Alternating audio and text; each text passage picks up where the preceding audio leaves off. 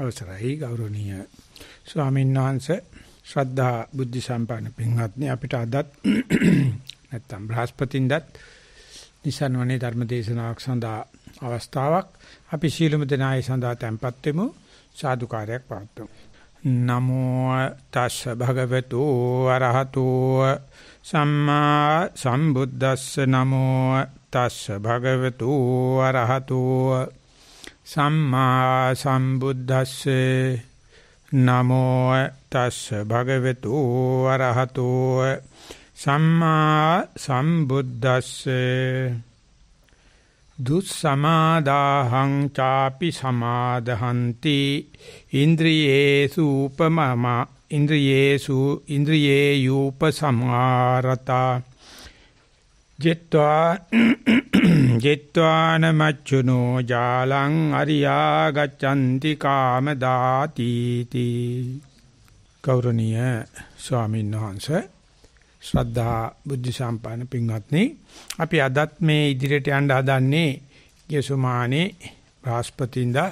අපි ඉදිරියෙන් තියාගත්ත ඒ කාමදා සූත්‍රය ඒකේ ඒ කාමදෝ නැත්තම් කාමද සමාට කාමදා කියන ආමන්ත්‍රණ නාමය සඳහන් කරන දේව පුත්‍රයෙක් සරුවච්චන්හන්සේට ගේන අවලාදයක් නැත්නම් චෝදනාවක් අනුව තමයි සූත්‍රයේට දෙබසට සමාලෝචනයට මාර්ගය සැලසෙන්නේ. ඉතින් ඒ දේවතාවා දේව ලෝකේ දැකලාද මනුස්ස ලෝකේ දැකලාද දන්නේ සඳහන් කරලා කියනවා මේ බුදුහාමුදුරෝ කියන දේ නැත්තම් ධර්මානුකූල දේ හරි අමාරුයි කියලා. දුෂ්කරයි කියලා.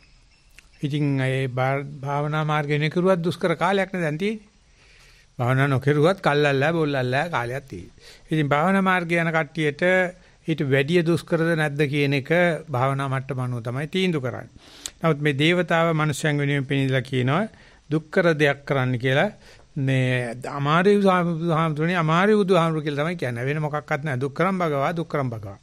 ඒකට බුදුරජාණන්සේක පෙන්ලා දීලා තියෙනවා. එහෙම වුණත් ඒක කරන්න වෙනවා. මොකද උපන්නාට මේ ලෝ වැනෙනවා විනා. උපන්නානම් විදෝපං. අපි මේ අම්මා කිව්වට තාත්තා කිව්වට ගුරුවරයා කිව්වට සැප නැහැ. දෙඤ්ඤන් සැප තියෙනවා. හැබැයි දීපු සැපක් නැහැ. ඉතින් දුෂ්කර තමයි. ඉතින් දුෂ්කරම අපි කරවන්ති. දුෂ්කර දේම කරනවා. හැබැයි අන්තිමට මම කියන පාර ගියොත් ඒකාන්තයෙන් සන්තුෂ්ටියක් ලැබෙනවා. දුෂ්කර දේන් පටන් අරගෙන සතුටින් හමාර වෙනවයි කියන කතාව කියනවා. දේවතාව කියන්නේ පටන් ගන්නකොටත් දුකයි, මැදත් දුකයි, අගත් දුකයි කියලා.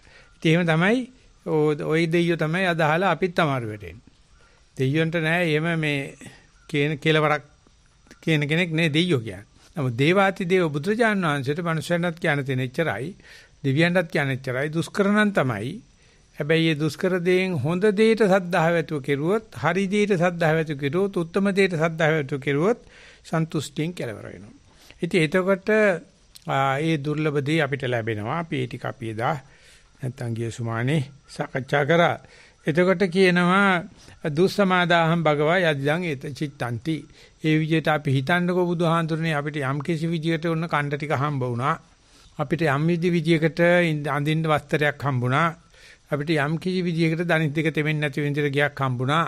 දැන් කොහොම හරි යැපෙන්න බේතක් මාරුවානේ මූත්‍රා ටිකවත් හම්බුණා. හිත සමාදම් වෙන්නේ නැහැ.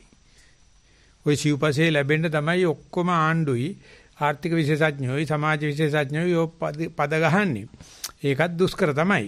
අද කාලේ නම් ඇත්තටම දුෂ්කරයි. ඒක මේ කර්ම කරපේ කාටයි නැති කාටයි පොතත් රටවල් දුප්පත් රටවල් සියලු දෙනාටම මේ ඉපිරිත මැරිච්ච උන් ගැනමට හරි සන්තෝෂයක් තියෙනවා. උගව දෙනෙක් මැරිච්චාමට යන්නම් කියලා යන්නේ මේ දවස්වල. ඉතින් කියන්නේ තන හොඳ වෙලාවට ගියේ. මොකද හිටියානම් දකින්න හම්බෙන දේ හරි අස්වමයි. පුදුමයි. ඉතින් පණියක් මයින් ඇහුවා මං කව මේ වෙලාවේ ජීවත් වෙන එක ලොකුම දෙයක් කියලා. එච්චරයි අපිට කියන්න තියෙන්නේ. මේ දේවල් දකින්න මේ කාලයක් ගෙනාවු මතක සටහනොත් එක්ක අද දේට මුහුණ දෙන එක ඒක විශාල ජයග්‍රහණයක්. ඊටත් වැඩි ජයග්‍රහණයක් තමයි ගල්ලතේ මැරලා ගියානම්. මැරෙලා නැහෙනි. ඉතින් ඒ දේදී කොහොමද මේ කය පොඩ්ඩක් හතපව ගත්තත් බඩ බඩගින්න නිවා ගත්තත් මේ දුස්සමාදාහං හිත සමාදාහං කරන එක දුෂ්කරයි. ඒකනම් මම හිතන්නේ දෙයයන්ට ආවේනික ප්‍රශ්නයක් වෙන්න ඇති. එයා කියනවා මේ මිනිස්සු මැරෙන්න හදනවා දරුවෝ විකුණලා හරි කමන්නේ මොන දේ විකුණලා හරි කමන්නේ මේ කීයක් හරි හම්බ කරගන්න හදනවා. හම්බ කරලා ඇති වෙච්ච එකක් නෑ. ඇති කරත් හම්බ කරත් හිත සමාදාන් කරන්න බෑ.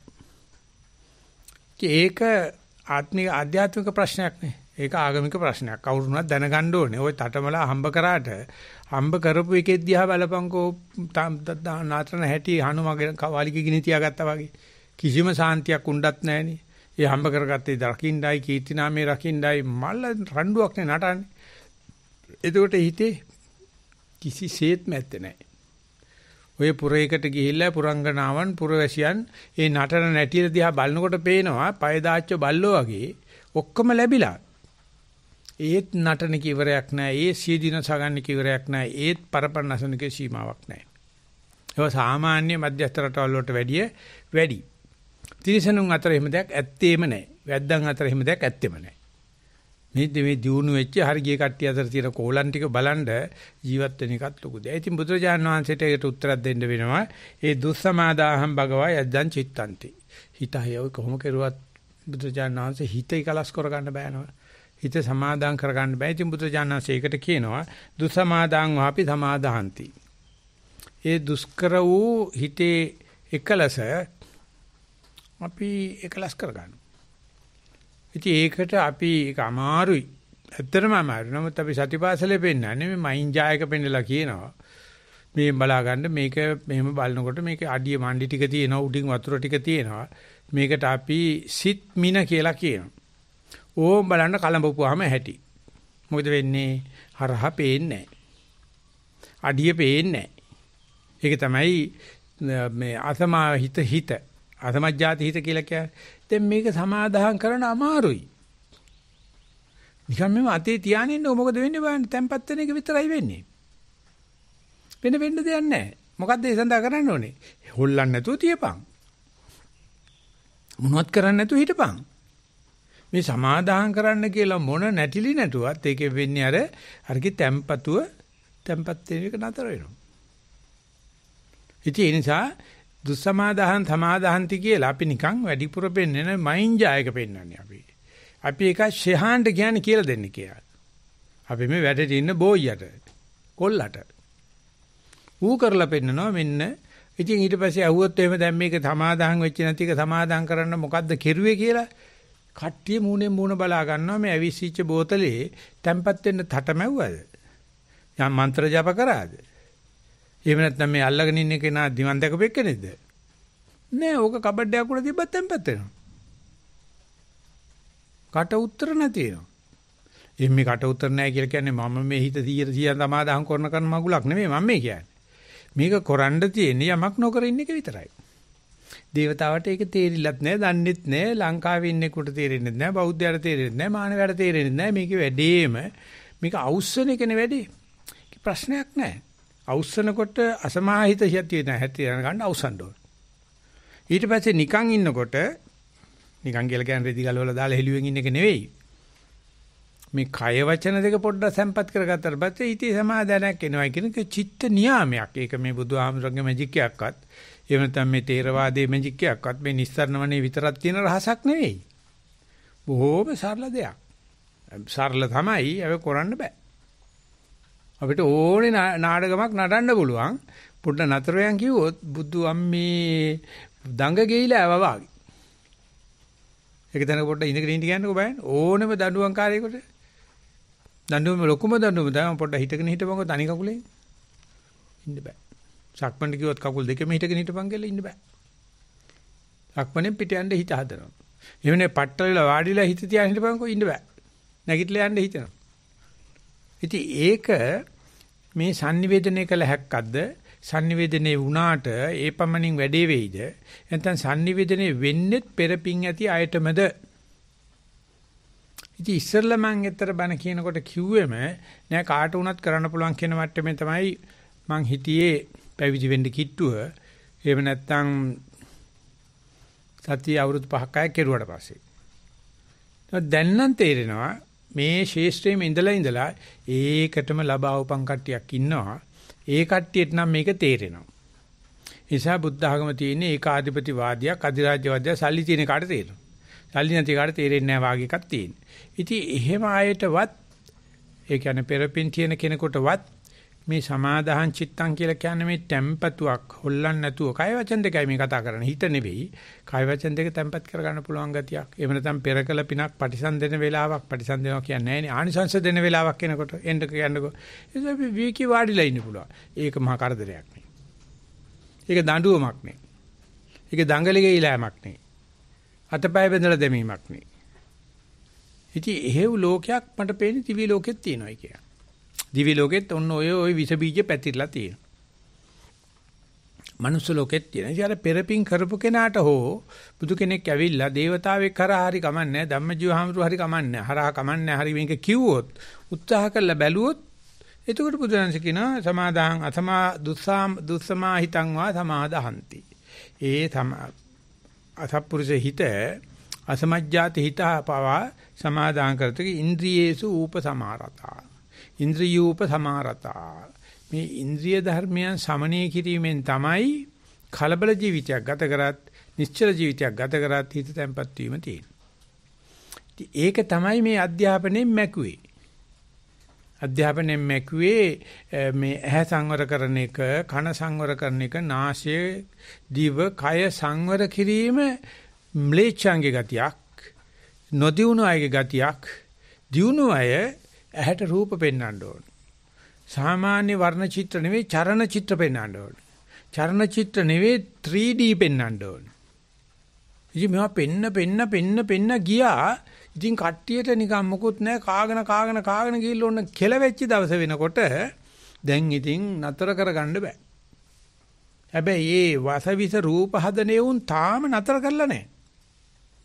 ඒක හොඳට මතක තියාගන්න මේ මිනිස්සුන්ට යම් ප්‍රමාණයකට තේරිලා තියෙනවා මේ ළඟදිත් මම දැක්කා. ඔක් කියන්නේ කොහොමද මන් දන්නේ. මා බැංකුවේ අධිපති කියනවා සෙල්ෆෝන් සහ ටීවී වලට වීදම් කරන්න එපා.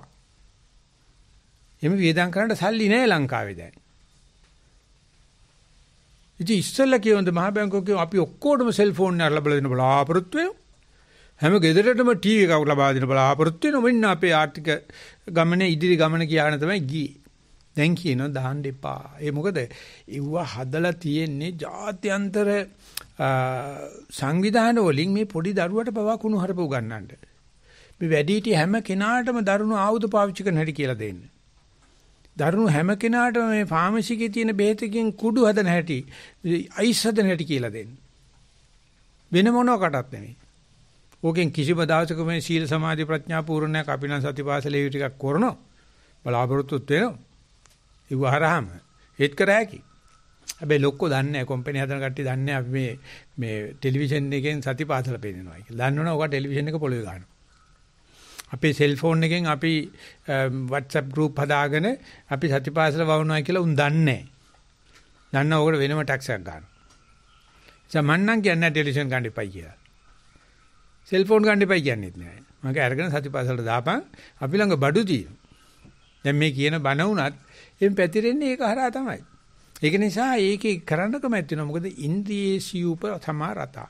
ඉන්දිය සමනේ වෙලා තියෙනවනම් මොන ටෙලිවිෂන් එකක් තිබ්බත් මොල සෙල්ෆෝන් එකක් තිබ්බම ප්‍රශ්නයක් නැහැ. අර ඉන්ද්‍රිය තමනයක් දමනයක් නැති කෙනාට කොයි දෙයක් කඩුව ගිල්ලා වගේ වෙනවා. ඉතින් ඒ නිසා ඉන්ද්‍රිය দমনයේ උගන්නලා ටෙලිවිෂන් එකක් කරන් දෙනවා කියන එකයි නැත්නම් ටෙලිවිෂන් පෙන්නවයි කියන එකයි සම්පූර්ණ දෙකක්. මේ ටෙලිවිෂන් පෙන්නන මනුස්සයගේ අර තිබිච්ච ඉන්ද්‍රිය দমনයක්වත් ඇත්තේ නැහැ. අද දෙමව්පියෝ පොඩි කාට තනේ දෙන්නේ අම්මා. සෙල්ෆෝන් එක අතර දෙන්න. රූපය ගාන කරක මෙරික මෙරික ඉන්නවා අම්මගේ තනේ මෙරික කරනට වැඩිය ටිකක් ගොරෝසුයි මේක හැබැයි. ෆෝන් එක ජොලියක් තියෙනවා. අම්මට පොල් ගහ ගන්න තෙල් මේ මාළුවක් හොයා ගන්න ඕනේ තමයි පොඩි කාට සෙල් එක දීපුවාම අම්මට තියෙන ප්‍රශ්න පවාද නැති ගසලා සෙල්ෆෝන් එකේ තියෙන ඔය ඔක්කොම ප්‍රශ්න බේරලා ඌ හරි ගසලා දෙනවා. ඒක ළමයට කියනවා මට අසවල් බඩු ඕනේ. බෑනේ පුතා සල්ලි නැහනේ. එයි අම්මා මේ අර බැංකුවේ පිටි අත ගන්න සල්ලි එනවනේ දැන්. පොඩ්ඩක් ගිහලා පිටි අත ගන්න උද සල්ලි එනවා. ඌව ගේන්න රඩේ යන්න එපා. නෑ පිස්සු මේ ෆෝන් එකේ තියෙන ගහපම හෙට උදේ ගෙනත් දෙනවා. ඩ්‍රෝන් එකෙන් ගෙනල්ලා බාන්නේ. අම්මට කට උත්තර නෑ. තාත්තටත් කට උත්තර නෑ. මොකද අම්මලා තාත්තවත් දන්නෙත් නෑ මේ ඇත්තටම මේ සෙල් ෆෝන් එකෙන් ඕඩර් කරන්න බැරි බැරි කක්කුසියක් විතරයි. අනිත් සේරම ගන්න පුළුවන් දැන්. සෙල් ෆෝන් එකේ නැත්තේ චූ කරන්නයි කක්ක කරන්න දැනක් විතරයි. අනිත් සේරම දේවල් කරන්න සෙල් ෆෝන් එකෙන් කරදයි. ඉතින් ගෙනලා පෙන්නපුවාම අම්මලාට උන්ගේ අම්මලාට කියලා කියන්නේ. ඔන්න ඉන්ද්‍රිය দমনයක් අම්මලාට තාත්තලාට නැහැ, අත්තලා මුත්තලාටත් නැහැ. ඉතින් එහෙව් එකේ මේ කැපෙන ආයුධයක්. මේ වගේ සියුම් තියුණු දේවල් අතර දුන්නාට පස්සේ ඉතින් වඳුරට දැලිපිය දුන්නා වගේ තමයි. මේක මේ විද්‍යයටම අයින්ස්ටයින් කියලා තිබ්බා. මේ විද්‍යාව කියලා කියන්නේ ඊටාම තියුණු ආයුධයක් මේක දීලා තියෙන්නේ වානරෙක් අතට. ඒක නිකන් ඉන්නේ වනවනෝ. ඉතින් කොයි දේ කපයිද කොයි දේ කපා ගනීද කියලා කියන්න බෑ. දැන් භික්ෂුව අතර දීලා තියෙන්නේ දැලිපිය. අනික් කට්ටිය වගේ නෙමෙයි සිස් ගාලා කපනකොට ඇඟට දැනෙන්නේ නැහැ.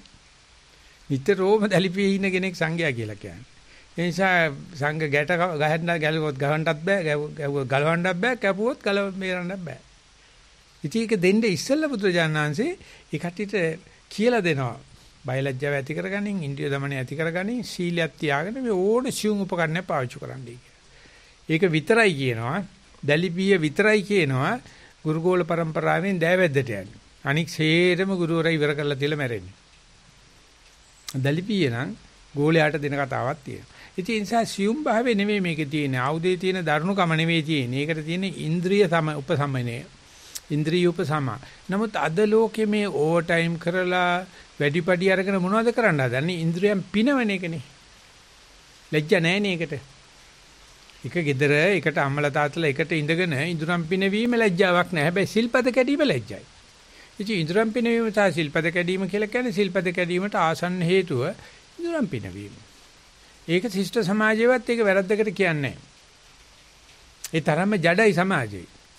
ඉතින් අර අර උප්පත්තියම පෙන්න නැති එක වැටෙන්නේ බුදුදහම කියනවා අවන්සිරා. ඔළුව පල්ලෙහාට කකුල් දෙක උඩ තියාන තමයි අපායට වැටෙන්නේ. ආයේ ගොඩ ඒමනක් නැහැ. ඉතින් ඒක ඒක දෙයියෝ අහනවා මේ සමෝසේ උත්තරයක්. ඒක බුදුදහම මේ ආර්යයන් කියන කොටස වෙන් කරලා උත්තරයක් දෙනවා. ඉන්ද්‍රිය ඉන්ද්‍රියූප සමාරතා. ඉන්ද්‍රිය උපසමේ කිරීමේ බැඳෙනවා ජෙත්වා මච්චුනෝ ජාලං. එතකොට ඒ කෙනාට මායя දාලා තියෙන දල ඔක්කොම අහුවෙන්න. ටෙලිවිෂන් එකක් පෙන්නුවොත් 3D පෙන්නුවොත් මේ ගහමරා ගන්නවා පෙන්නුවොත් රෑ දවල් නැතුව බලන්න හදලා තින්නේ. ඒකම තමයි ක්‍රමය අද. නමුත් ඉන්ද්‍රිය උපසමරතේ කන ඒක දැකලත් තේරුම් ගන්නවා මේ අනිත්‍යතාවයේ දුක අනාත්මතාවයේ. ඒ නිසා ඒ ඉන්දිය দমনයේ යුක්තව මේ මොන දේ බැලුවත් මේ මනුස්සයා කෙලෙසෙන්නේ ඔය ක්‍රිෂ්ණමූර්තිතුමා පුදුමාකාර 80 දශක විතර මම හිතන්නේ නැති වුණා. සෑහෙන කාලයක් ඔය තියෝසොෆිකල් සොසයිටි එකෙන් ලෝක ගුරුවරයෙක් වශයෙන් පෙර ගినాපු පුනිශ්චය සම්පatti දැකලා බ්ලැවත්කි නෝනට මෙහෙම බලලා කියන්න පුළුවන්. පුද්ගලයාගේ මේ තරංග වේගේ මේ දරුව දැකලා හැදුවේ. එයා නිතරම කියවනේ ඊටාම පහත් පන්තියේ මේ චිත්‍ර කතා. පහත් චිත්‍ර කතා තමයි නිතරම කියවන්නේ. දියුණුම මනසයි කියලා හිතනවා. එයාත් කියලා තිබුණා එයා බුදුහාමුදුරු අනුගමනය කරන්නේ. නමුත් කොයි වෙලාවක හරි දැන් උනත් බුදු කෙනෙක් පහළ වුණොත් මම උන්වහන්සේ හම්බෙන්න යන එක වළක්වන්න මේ ලෝකේ කාටවත් බෑ කියලා. එයාත් කියවන්නේ මේ පහත් පන්තියේ පොත්. කියවට මොකද මේ මනුස්සයා කියලා දෙනවා ඒ හරහා මෙන්න සමාජය අද තියෙන තැන ගැලවෙන්න මේකයි කරන්න ඕනේ කියලා එයා ඉන්ද්‍රිය සමණයෙන් යුක්තව මේවා කියවට පස්සේ එයාව කෙලසෙන්නේ නැහැ. ඉතින් මේ කතා කියනවා අමනියොත්. මේ කතා කියනවා ඉන්ද්‍රිය සමණයක් නැති අයත් ඇයි අපිට ටෙලිවිෂන් බලපුවහම මොකද වෙන්නේ? ඇයි අපිට මේ පොඩ්ඩක් බීපුවහම මොකද වෙන්නේ? ඇයි අපි මේ මේ මේ වැඩ කරපුවහම මොකද්ද වෙන්නේ කියලා ඒගොල්ලෝ ඒක මානවයිති වාසිකමක් කරගෙන නිදහස් චින්තනයක් කරගෙන ඒක තමයි ඒක දෙන අයට තමයි ඡන්දෙ දෙන්නේ. ඡන්දෙ දෙන්නේ කාම ඡන්දෙ තමයි. කුසල ඡන්දෙ නෙවෙයි. කුසල ඡන්දේ තියෙන කෙනා දන්නවයි මිනිස්සු කෙලසන්න බෑ මොකද කෙලසෙන්නේ හිත නරක වුණොත් නේ. නමුත් මම මේ කියන්නේ ඒ හිත නරක වීම හෝ නොවීම නැත්නම් මේකට මේ මේ ශික්ෂණයට පෙළඹීම සහ ප්‍රතිඵල ලැබීම ගිය ආත්මේ ඉඳලා ගినాපු උපනිශ්‍රේ සම්පත්තියක්ද නැත්නම් මේ ජීවිතේදී අපි ඒ බීජේ පැල කරනවාද කියන එක. ඒකෙදි මං ඉස්සෙල්ලා නම් තිබුණේ මගේ හිතුවේ සතිය වඩනවා නම් ඕනම කෙනෙකුට අනිවාර්ය ප්‍රතිඵල තියෙනවා කියලා. නමුත් අද මට පිළිගන්න වෙනවා මේ සතිය වඩලත් සමහරු මේ ආත්මෙදී සතිය ඉස්සලාම් පටන් ගන්න කට්ටිය ඉන්නවා. එයත් අර ටිකක් කල් යනවා. මේ සතිය ඇත්තටම හරිද කියලා දැනගන්න. ඇයි සතිය වඩන්නේ කියලා ඒගොල්ලෝ කෙලින්ම ප්‍රශ්න කරනවා. නමුත් ගිය ආත්මික ඉඳලා වගේ වාසනා ගුණ සහිත මං කියන්නේ කෙලෙස් වාසනාව නෙවෙයි සහිත කෙනෙක් ඉන්නෝනේ යාට සතිය දෙනකොටම කියනවා අනේ ස්වාමීන් වහන්සේ ඔබ වහන්සේ කියපයක් නෙවෙයි මේක මයි ළඟ තිබිලා තියෙනවා මේක මං දන්නේ එකක් නේ. කියලා එයාට මේ වෙන්නේ උත්ප්‍රේරණයක් විතරයි. ලැබිච්ච දේ උත්සාහ උස්කල දක්වන එකක් විතරයි කරන්නේ. සතිය කියන එක අමරයක් නෙවෙයි. නමුත් සමහරව අහනවා ඇයි ස්වාමීන් වහන්සේ සතිය ගැන කතා කරන්නේ? කියලා. මොකද්ද සතිය වෙන වැඩේ? ඇත්තටම සතියෙන් වැඩක් වෙනවාද කියලා. ඉතින් එතකොට ඒ හිතා ගන්න වෙනවා ඒගොල්ලෝ දැන් තමයි මේක ඉගෙන ගන්න හදන්නේ. මේ ගියාත්මෙදලා ගෙනාව පට්ටිය වෙනස්. ගියාත්මෙදලා ගෙනාව කට්ටියට ඔය මොන සංකර දෙයක් අහු වුණත් ඒගොල්ලෝ අහු වුණාට බොහොම ඉක්මනට ගලවන්න පුළුවන්. එහෙම නැති කෙනාට හරි අමාරුයි. ඉතින් ඒක මේ ළඟදී ඇති වෙච්ච සන්දර්භයක් අනුව කියනවනම් අපිට මේ එක්සත් ජාතීන්ගේ සංගමේ සතිපාසලට පණිවිඩයක් ඇවිල්ලා තිබුණා. එක්සත් ජාතික සංගමේ ප්‍රඥප්ති ලියන වෙලාවේදී සතිපාසලේ සංකල්ප සන්දර්භ ඉදිරිපත් කරන්න කියලා. මේක හදිස්සිය අපිට දවස් දෙකයි ඉඳ දීලා තිබුණේ බොහොම අමාරුවෙන් එම්ෙන් ගැට දාලා අපි දන්න ප්‍රමාණයට අපේ එක ඉදිරිපත් කරා.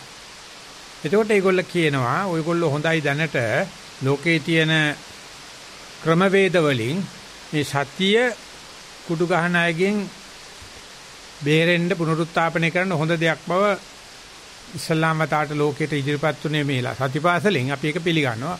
ඔයගොල්ලන්ට පුළුවන්ද කෙනෙක් කුඩු ගහලා පුනරුත්ථාපනය කරන්න නෙවෙයි කුඩු නොගහන්න හදන්න පුළුවන්ද සතිය. මේකට මොකද්ද දෙන උත්තරේ? ඉතින් ඒක අපිට රාම තියෙන මාස ගාණක් ඇතුළත අපිට උත්තර දෙන්න තියෙන දෙයක්. ඒක අපිටත් සත්‍යපාසල පිළිබඳ ඉදිරි ගමනක් තීන්දුව කරනවා. මේක පිළිබඳව අපි සාකච්ඡා දෙක තුනක් කරා මාස්ටර් ට්‍රේනර්ස්ලාගේ ප්‍රෝග්‍රෑම් එකේ. ඒ කරනකොට මේක විග්‍රහ කරපු කෙනෙක් කියනවා ස්වාමීන් වහන්සේ මම කරන වෘත්තිය හැටියට මට පේනවා ගොඩාක් ළමයි ඒ වගේ නරක වැඩවලට පෙළඹෙන්නේ ළමා කාලේ ඒ කට්ටිය අපචාර වලට ලක් වෙලා. දෙමාපියන්ගෙන්ම අතවර වලට ලක් වෙලා. ගුරුවරුන්ගෙන් අතවර ලක් වෙලා. පන්තලේ හාමුදුරන්ගෙන් කතෝලික පල්ලියේ මේ පාදර්ලගෙන් ඒ ආගමික නායකයන්ගෙන් අතවරවලට ලක් වෙලා. අපි ඉතින් ළමයි ගිහිල්ලා දෙනවනේ බය නැතුව මල් පූජා කරනවා වගේ ආගමික නායකයන්ට.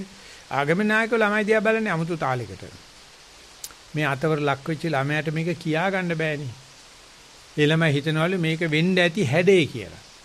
මානවය කියන්නේ මෙහෙම එකක් වෙන්න ඇති. ඉතින් පිටරටවල වලින් ඇවිල්ලා ඉස්සර හරියට ලංකාවේ ළමයි ගෙනිච්චා.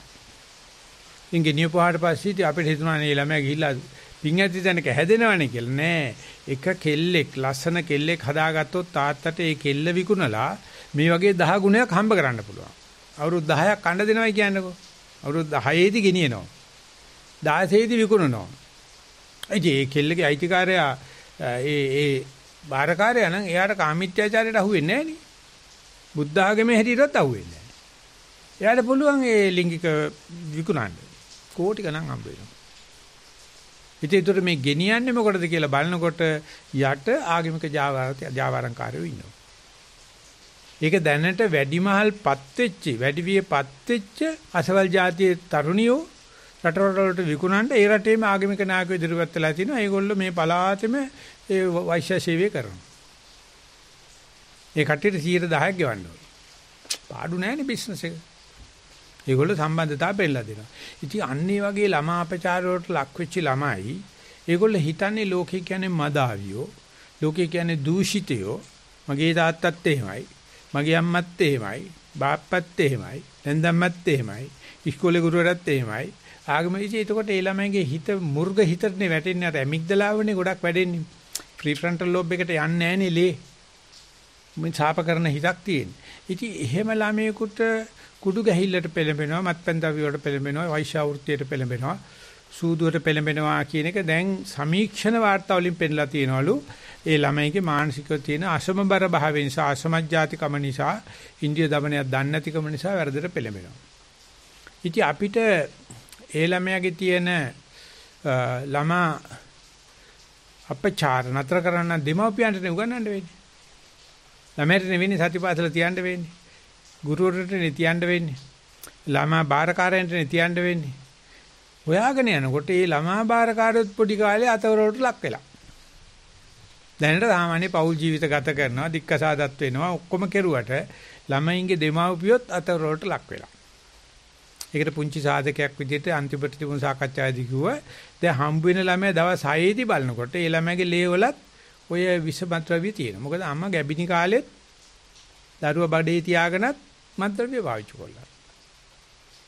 ඒක පිටරට වල නම් ගන්නව දෙයක් නැහැ.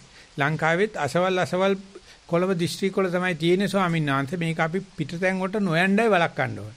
දැන් මේක දිහා බලනකොට පේනවා දැනටමත් අම්මගේ අප්පගේ ඉඳලාම ලේ වල ඉඳලම මේ අසමජ්ජාති ගති තියෙන ළමයි ඉන්නවා. ඒ ළමයිගේ මෙච්චර ප්‍රමාණයක් නරක ඇබ්බැහි වලට යනවා. ඉතින් ඒකට කාටවත් ඒ ළමයට දොස් කියන්න බෑනේ. මොකද ඒ ළමයා ලෝකේ දකින්නේ ඒ විදිහට. නමුත් එක ගුරුවරෙක් කියනවා ස්වාමීන් වහන්සේ එහෙම තියෙද්දිත් ගණන් පන්ති හොඳට ගණන් හදලා ළමයි ඉන්නවා. එහෙම තියෙද්දිත් හොඳට චිත්‍රන්දිල් ළමයි ඉන්නවා. ගෙදර ගන්නම දෙන්නේ අමු ගුබ්බෑමක්.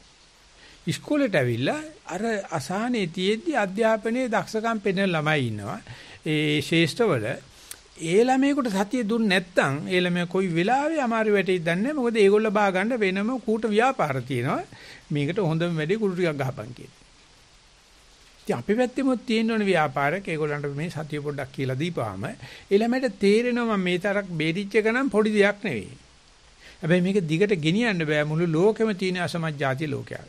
ඒ නිසා අපි ඒකට යන්න ඕන. ඊට පස්සේ ඉන්නවා අපචාරවල ලක් වෙච්ච නැති ළමයි. ඒ ළමයින්ට එහෙම එච්චරම අපචාරයකට ලක් වෙලා නැහැ. දෙමාපියන්ගේ අරසාව ලැබිලා තියෙනවා. හුඟක් කරට අම්මයි තාත්තයි දෙන්න ඉන්නවනම් ඒ පවුල් වල අසමත් ಜಾතිකම් අඩුයි. එක්ක අම්මත් එක්ක තාත්තත් එක්ක ඉන්නවනේ. ඒකට සිංගල් පේරන්ට් ෆැමිලි කියලා කියනවා. ගාක් වෙලාට පාස්වර්ඩ් පත් වෙනවා. ඒ ළමයින්ට සතියෙන් වැඩක් තියෙනවා. දැන් බලන්න සතිය මේ අපචාරවල ලක් වෙලා අමාරුවට වැටිච්ච ළමයි කුඩු ගැහුවට පස්සෙත් සතියෙන් උදව් කරන්න පුළුවන්. තාම කුඩු ගහලා නැහැ වැනි වැනි අධ්‍යාපනයත් කරගෙන රස්සාවකුත් කරන ජීවත් වෙන කෙනෙකුට සතිය තියලා දුනොත් ඒත් එයාට මත්තට අහුවෙන්නේ නැති වෙන්න ඉන්න පුළුවන්. එහෙම නැත්නම් දැනට අහුවෙලා නැහැ. අම්මා තාත්තත් හොඳයි මට්ටමක ඉන්නව රස්සාවකුත් කරනවා. එයාට සතිය වැඩ කරන්න පුළුවන්. මේ තුන් දෙනාගෙන් සතිපාසල වැඩියෙන්ම වැඩ කරන්නේ අර පළවෙනි පන්තියේ විතරයි. දැනටමත් අමාරු වෙట్లా කුණු වෙච්ච එකනට සතිපාසලේ පුදුම උදව්වක් සිද්ධ වෙනවා. ඒක එච්චර හොඳ වැඩක් නෙවෙයි. අර තාම බේරිලා ඉන්න කෙනා හොයාගෙන ගිහිල්ලා අපේ මාස්ටර් ට්‍රේනර්ස්ලා පුරුදු වෙන්න ඕනේ. ඒ ළමයාට දැනට ගැට ගහගෙන හිටියට ඒ ළමයා ඉතාම අපහසු කඹේ ඇවිදිල්ලක් ඇවිදින්නේ මෙයාට සතිය දෙන්න ඕනේ. එහෙම නැත්නම් තාම ඒකට ගියේ නැති කෙනාට කියන්න ඕනේ you are born lucky. උපත්තිම වාසනාවන්තයි උඹේ අවාසනාවට හිටලා තියෙනවා. මොකද උඹ සතිය වඩන්න හිතන්නේ නැහැ. අතින් නැතත් ජීවත් වෙන්න පුළුවන් කියලා. අන්න ඒ වගේ මේ ඉන්ද්‍රිය দমনයේ තුල මේක තියෙන බව හැබෑව මේ ඉන්ද්‍රිය দমনය මේ වගකීම මේ ඉන්ද්‍රිය দমনයේ ඇති කෙනාට හෝ නැති කෙනාට දෙන්න පුළුවන්ද කියන ප්‍රශ්නේ මම මේ කතා කරන්නේ. හැදෙන පරිසරයේ ගුබ්බෑයමක් නම් එයාට දන්නේ නැහැ ඉන්ද්‍රිය দমনයක් කියන එක දන්නේ නැහැ. එයා හිතන්නේ මේක තමයි සාමාන්‍ය ලෝකය කියලා. මේ ඇමිග්දලාව ලොකු වෙච්චි ලෝකයක්, අතිරිසන් ලෝකේ, උරග ලෝකේ. ලොකු එක පොඩි එකක් මරාගෙන කනවා. එහෙම නැත්නම් අර ෆ්‍රී ෆ්‍රන්ටල් ලෝබ් එක ඇවිල්ලා. එහෙනම් ශිෂ්ටච මිනිස්සයා, ක්ෂීරපායි මිනිස්සයා හොඳ නරක දන්න මිනිස්සයා ඉන්න කෙනා ඊට වැඩිය පරිණාමයෙන් ඉස්සරහට ගිහිල්ලා තියෙනවා. එයාට සතිය බාර දුන්නොත් එයා දන්නවා මේ නරක හොඳ කරන්නට වගේම සතියේ තියෙනවා නරක් නොවි සිටීමට හෙදකම. ආනේ නරක් නොවීමට හෙදකම සම්බන්ධයෙන් සතිපාසල තමයි ලෝකෙට තියෙන පළවෙනිම සංවිධානය අද තියෙන මට්ටමේ ඉදිරියක් පෙන්වනවා. ඒක සතිපාසලේ අපේ මාස්ටර් ට්‍රේනර්ස්ලාට පුරුදු කරන්න ඕනේ. මේ මිනිස්සු හොඳ කරන එක නෙවෙයි වැඩේ. නරක් නොවි සිටීමට හෙදකම සම්බන්ධයෙන්. ඒක තමයි අමාරුම දේ ලෝකේ. අපි ලෙඩ සනීප වෙච්ච ගමන් පිසු කෙයින. කියක් කරේ අතට හම්බෙච්ච ගමන් පිසු කෙයින. අපිට හිතෙන්නේ නැහැ ඒ තියෙද්දි අපි දැන් මේ දෙයියන්ට වෙලා තියෙන්නේ ඒකයි. දැන් දෙයියන්ට හරි ගිහිල්ලා නැති. දෙයියෝ මුණ බලාපන්. ගියාත්ම කරපු පිංකමකට ගිහිල්ලා හොඳ තැනක ඉපදිලා. ඉතින් කලාතුරකින් කෙනෙක් තමයි බුදුහාමුදුරු ගාවට එන්නේ. ඒගොල්ලෝ සක්‍ර දේවීන්ද්‍ර ගාවට යනවා නැත්නම් මේ මේ කුවේර ගාවට යනවා. ඒගොල්ලොත් එක තමයි නඩු විසඳන්නේ. මේ පුංචි දේව පිරිසක් බුදුහාමුදුරුවෝ ගාට ආවා. ඒ අත්ත දේවතා සංයුත්තේ, දේව පුත්‍ර සංයුත්තේ කතා කරනවා. දිව්‍ය ලෝකෙට, මනුස්ස ලෝකෙට සමාන ප්‍රශ්න. හැබැයි මේ දේව දේවතාවා already lucky. දැනටමත් වාසනාවන්ත කෙනෙක්. හරිම අමාරුයි කියලා දෙන්න. කිව්වට ලේසියෙන් පිළිගන්නේ නැහැ. මොකද අර දුකට වැටිච්ච මනුස්සයාට නම් සාන්තිකර වචනකින් උන සැනසෙනවනේ. මේක පිළිගන්නේ නැහැ. ඉතින් ඒක නිසා සංඝයාට විතර අමාරු නෑ මොනවාක්වත් කියලා දෙන්න. මොකද ඒගොල්ලෝ බෝන් ලකීනේ. කවුරු හරි කන්න ගෙනත් දෙනවා. කවුරු හරි සිරුරුකුත් මහලා දෙනවා. ඉන්ද දනකුත් තියෙනවා.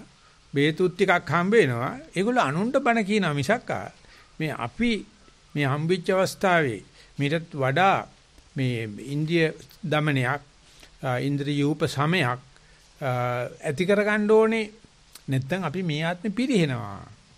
අනුන්ගේ සීනි කිර කිර හිටියට හරියන්නේ නිසා සතිපාසල කරලා හරියන්නේ මේ සතිපාසල කිරීමේ මටත් ලාභයක් තියෙන්න ඕනේ කියලා. ඉතින් ඒකත් අපි සතිපාසලේ අංගයක් විදිහට පෙන්නනවා. යම් කිසි කෙනෙක් Taman දන්න මේ පුංචි ටික සති මාත්‍රේ තව කාට හරි කියලා දෙනකොට කොච්චරක් Tamanට එකෙන් ආනිසංස ලැබෙනවද කියලා. එතකොට කොච්චරක් Taman ඉන්දිය සංවරයකට එනවද කියලා. කොච්චරක් මේ අනුන්ට කියලා දෙන්න තමනුත් ආදර්ශ චරිතයක් ගත කරන්න එපායි. අන්නේ ආදර්ශ චරිතය ගත කිරීම සහ කියලා දෙන දේ වාර්තාකරණය කරන හැටි කියනකොට තමන් තුළ තමන්ගේ sannivedanයේ තමන්ගේ තේරෙන්න යමක් කියන හැටි නැත්නම් තේරුම් නැති එක දැනගන්න හැටි පිළිබඳ පුදුමාකාර දැනීමක් එනවා. ඒක සාමාන්‍ය පන්ති කාමරයක උගන්වන්න පුළුවන් දෙයක් නෙමෙයි. ඒක සාමාන්‍ය සාකච්ඡාවක විතරක් ප්‍රත්‍යুৎපන්නව කරන්න පුළුවන්. ඒක නිකන් ප්‍රැක්ටිකල් ඉන්ටර්වෙන්ෂන් එකක් තියෙනවා. අන්නේ ඒක සතිය උගන්වුවේ නැත්නම් අපි මාස්ටර් ට්‍රේනර් කෙනෙකුට සල්ලි ගෙවන්නේ නැහැ සම්පූර්ණ නොමිලේ සේවය කරන්න. කරනකොට මේ ලැබෙන දේ බලනකොට පේනවා මේ ථේරවාදී තියෙන ක්‍රමේ තමයි අවුරුදු 5ක් යනකන් නවකෙක් වශයෙන් ඉන්න ඕනේ. ඉස බාහන්න නියපොතු කපන්න සිවුරු හොදන්න ගමනක් යන්න හැම එකම අහලා කරන්න ඕනේ. අහලා කෙරුවේ නැත්තම් ඒක ඒ උපාධ්‍යයන් වහන්සේටත් හොඳ නැහැ. හරියන්නේ නැහැ. අවුරුදු 10ත් 5ත් 10ත් අතර මධ්‍යම පුරුෂයෙක් මධ්‍යම පුරුෂ කියලා කියන්නේ නේ මජ්ජිම කෙනෙක් බාඩ ඒ කාලෙට පොඩ්ඩක් ඉඳලා හිට කියනවා ඉස අලුතෙන් සිවුරු පෙරවන්න එන එකයි ඉස බාපං උඩ සිවුරු ටිකක් හදලා දීපං පාත්‍ර පුච්චන හැටි කියලා දීපං කියලා ටික ටික යා දානවා අර අලුතෙන් එන නවකයන්ට අර තමන් නවක කාලේ ලැබිච්ච සංග්‍රහව කරලා දෙන්න. ඒකෙන් අල්ලන්න පුළුවන් සමහර වෙලාවට කැමති නැහැ. සමහර කෙනෙක් ඉුව වැඩක් නැහැ. අපි ආයේ මානකම් කරන යන්තම් අවුරුදු පහ සම්පූර්ණ කරලා නිස්සේ මුත්තු වුණා නම් අපි කැමති ගල්ලෙනකටලා අපිට අතත් යන භාවනා කරන නරක නැහැ. හොඳයි. මේ තේරවාදී කියන්නේ ඒක නෙවෙයි. ඒකට කරලා අවුරුදු 10 පෙන්නට පස්සේ ස්ථානයක් බාර දෙනවා. ආය මොකුත් නැහැ ගොඩ ඒමනක් නැහැ. අත තිබ්බ තිබ්බ දන ගෝරි ගොඩයි. ඔය ඉස්තරදී අපිට මේ කොහොමද මේ දානේ ටිකක් ලැබුණේ කොහොමද අපිට සිවුරක් ලැබුණේ කියලා හිතනවා මොකද ස්ථානයක් බාර දුන්නොත් හැම දායකෙක් එක්කම ගැටුම් හැම පැවිද්දෙක් එක්කම ගැටුම්. ඉතින් එතකොට තේරෙනවා ඔය අපිට ලබනකොට අපේ ගුරුවරු එව්ව අපිට අනවරතෝ සැපයීම සම්පූර්ණ කළ තිබුණට ඒක නිකන් දෙයියෝ දුන්න මං කෑව නෙවෙයි. එතකොට අවුරුදු 20 ගියාට පස්සේ ඔන්න තේරවාදී කියලා කියනවා. තෙරුණාංශ කෙනෙක් වෙන්නේ ඒකට මහා තෙරුණාංශ කියලා කියන්නේ. මහා තෙරුණාංශනේ අවුරුදු 20 මොකද ඒ තරම් හදලා හදලා හදලා හදලා අර Taman දැනගත්ත දේ පුංචි දේ කියලා දීලා කියලා දීලා කවදාකවත් එකකින් හොඳක් ලැබෙන්නේ නැහැ. නමුත් Tamanට මොකද්ද ඇතුළත ඉන්ද්‍රිය দমনයක් සිද්ධ වෙනවා. ඉන්ද්‍රිය උපසමයක් සිද්ධ වෙනවා. එතකොට තියෙන අවුරුදු 2600ක් ඒ ගුරුන්නාන්සලා අපේ ගුත්තමන් වහන්සලා මේක ගේනකොට අපිට තියෙන පහසුකම් වලින් 10 එකක්වත් තිබිලා නැහැ. පුදුමාකාර දුෂ්කරතාන තිබිලා තියෙන නිසා මට හිතෙනවා මේ පහසුකම් ටිකම තමයි අපි නොම ගරින්නේ. ඒක තමයි මේ දෙයියත් තුම ගවන්නේ. දෙයියන් ඔක්කොම නිකන් ඉතින් චමරිකෙන් කන්නා වගේ ගිහිල්ලා බත් එක ඉල්ලනකොට බත් එක හම්බ වෙනවනේ. මට අවල් තැන්ට යන්න ඕන කියනකොට ඕන ගිහිල්ලා එතන පහළ වෙනවා. අන්තලිකචරා පීති බක්කා ඉන්නවා. අහසේ යන්න පුළුවන් කලාමැදිරික් වගේ සයම් පබා තමන්ගේම ආලෝකය දිවි දෙනවා. පීති බක්කා ප්‍රීතියමයි ආමත කරන ජීවත් වෙන්නේ ප්‍රේමේ මාගේ ආහාරය කියන්නේ ඉන්න පුළුවන්. වෙන මොනක් අහල් පොත් ඕනේ නැහැ, කුපම් පොත් ඕනේ නැහැ. දෙයයන්.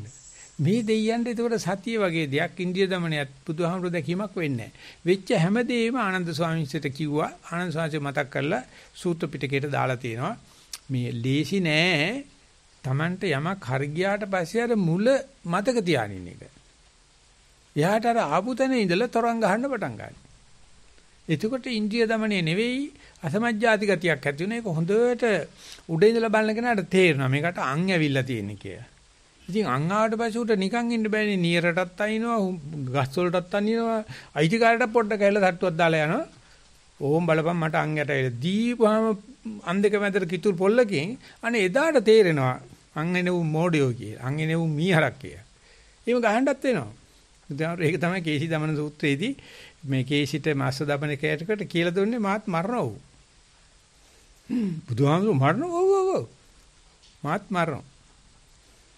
කට උත්තර නැති වෙන්න බුදුරජාණන් කිව්වා. ඉතින් මම මේ කියන්න හදන්නේ භාවනාව හරියනකොට මහානකම හරියනකොට පුදුමාකාර ඔලමලකමක් එනවා.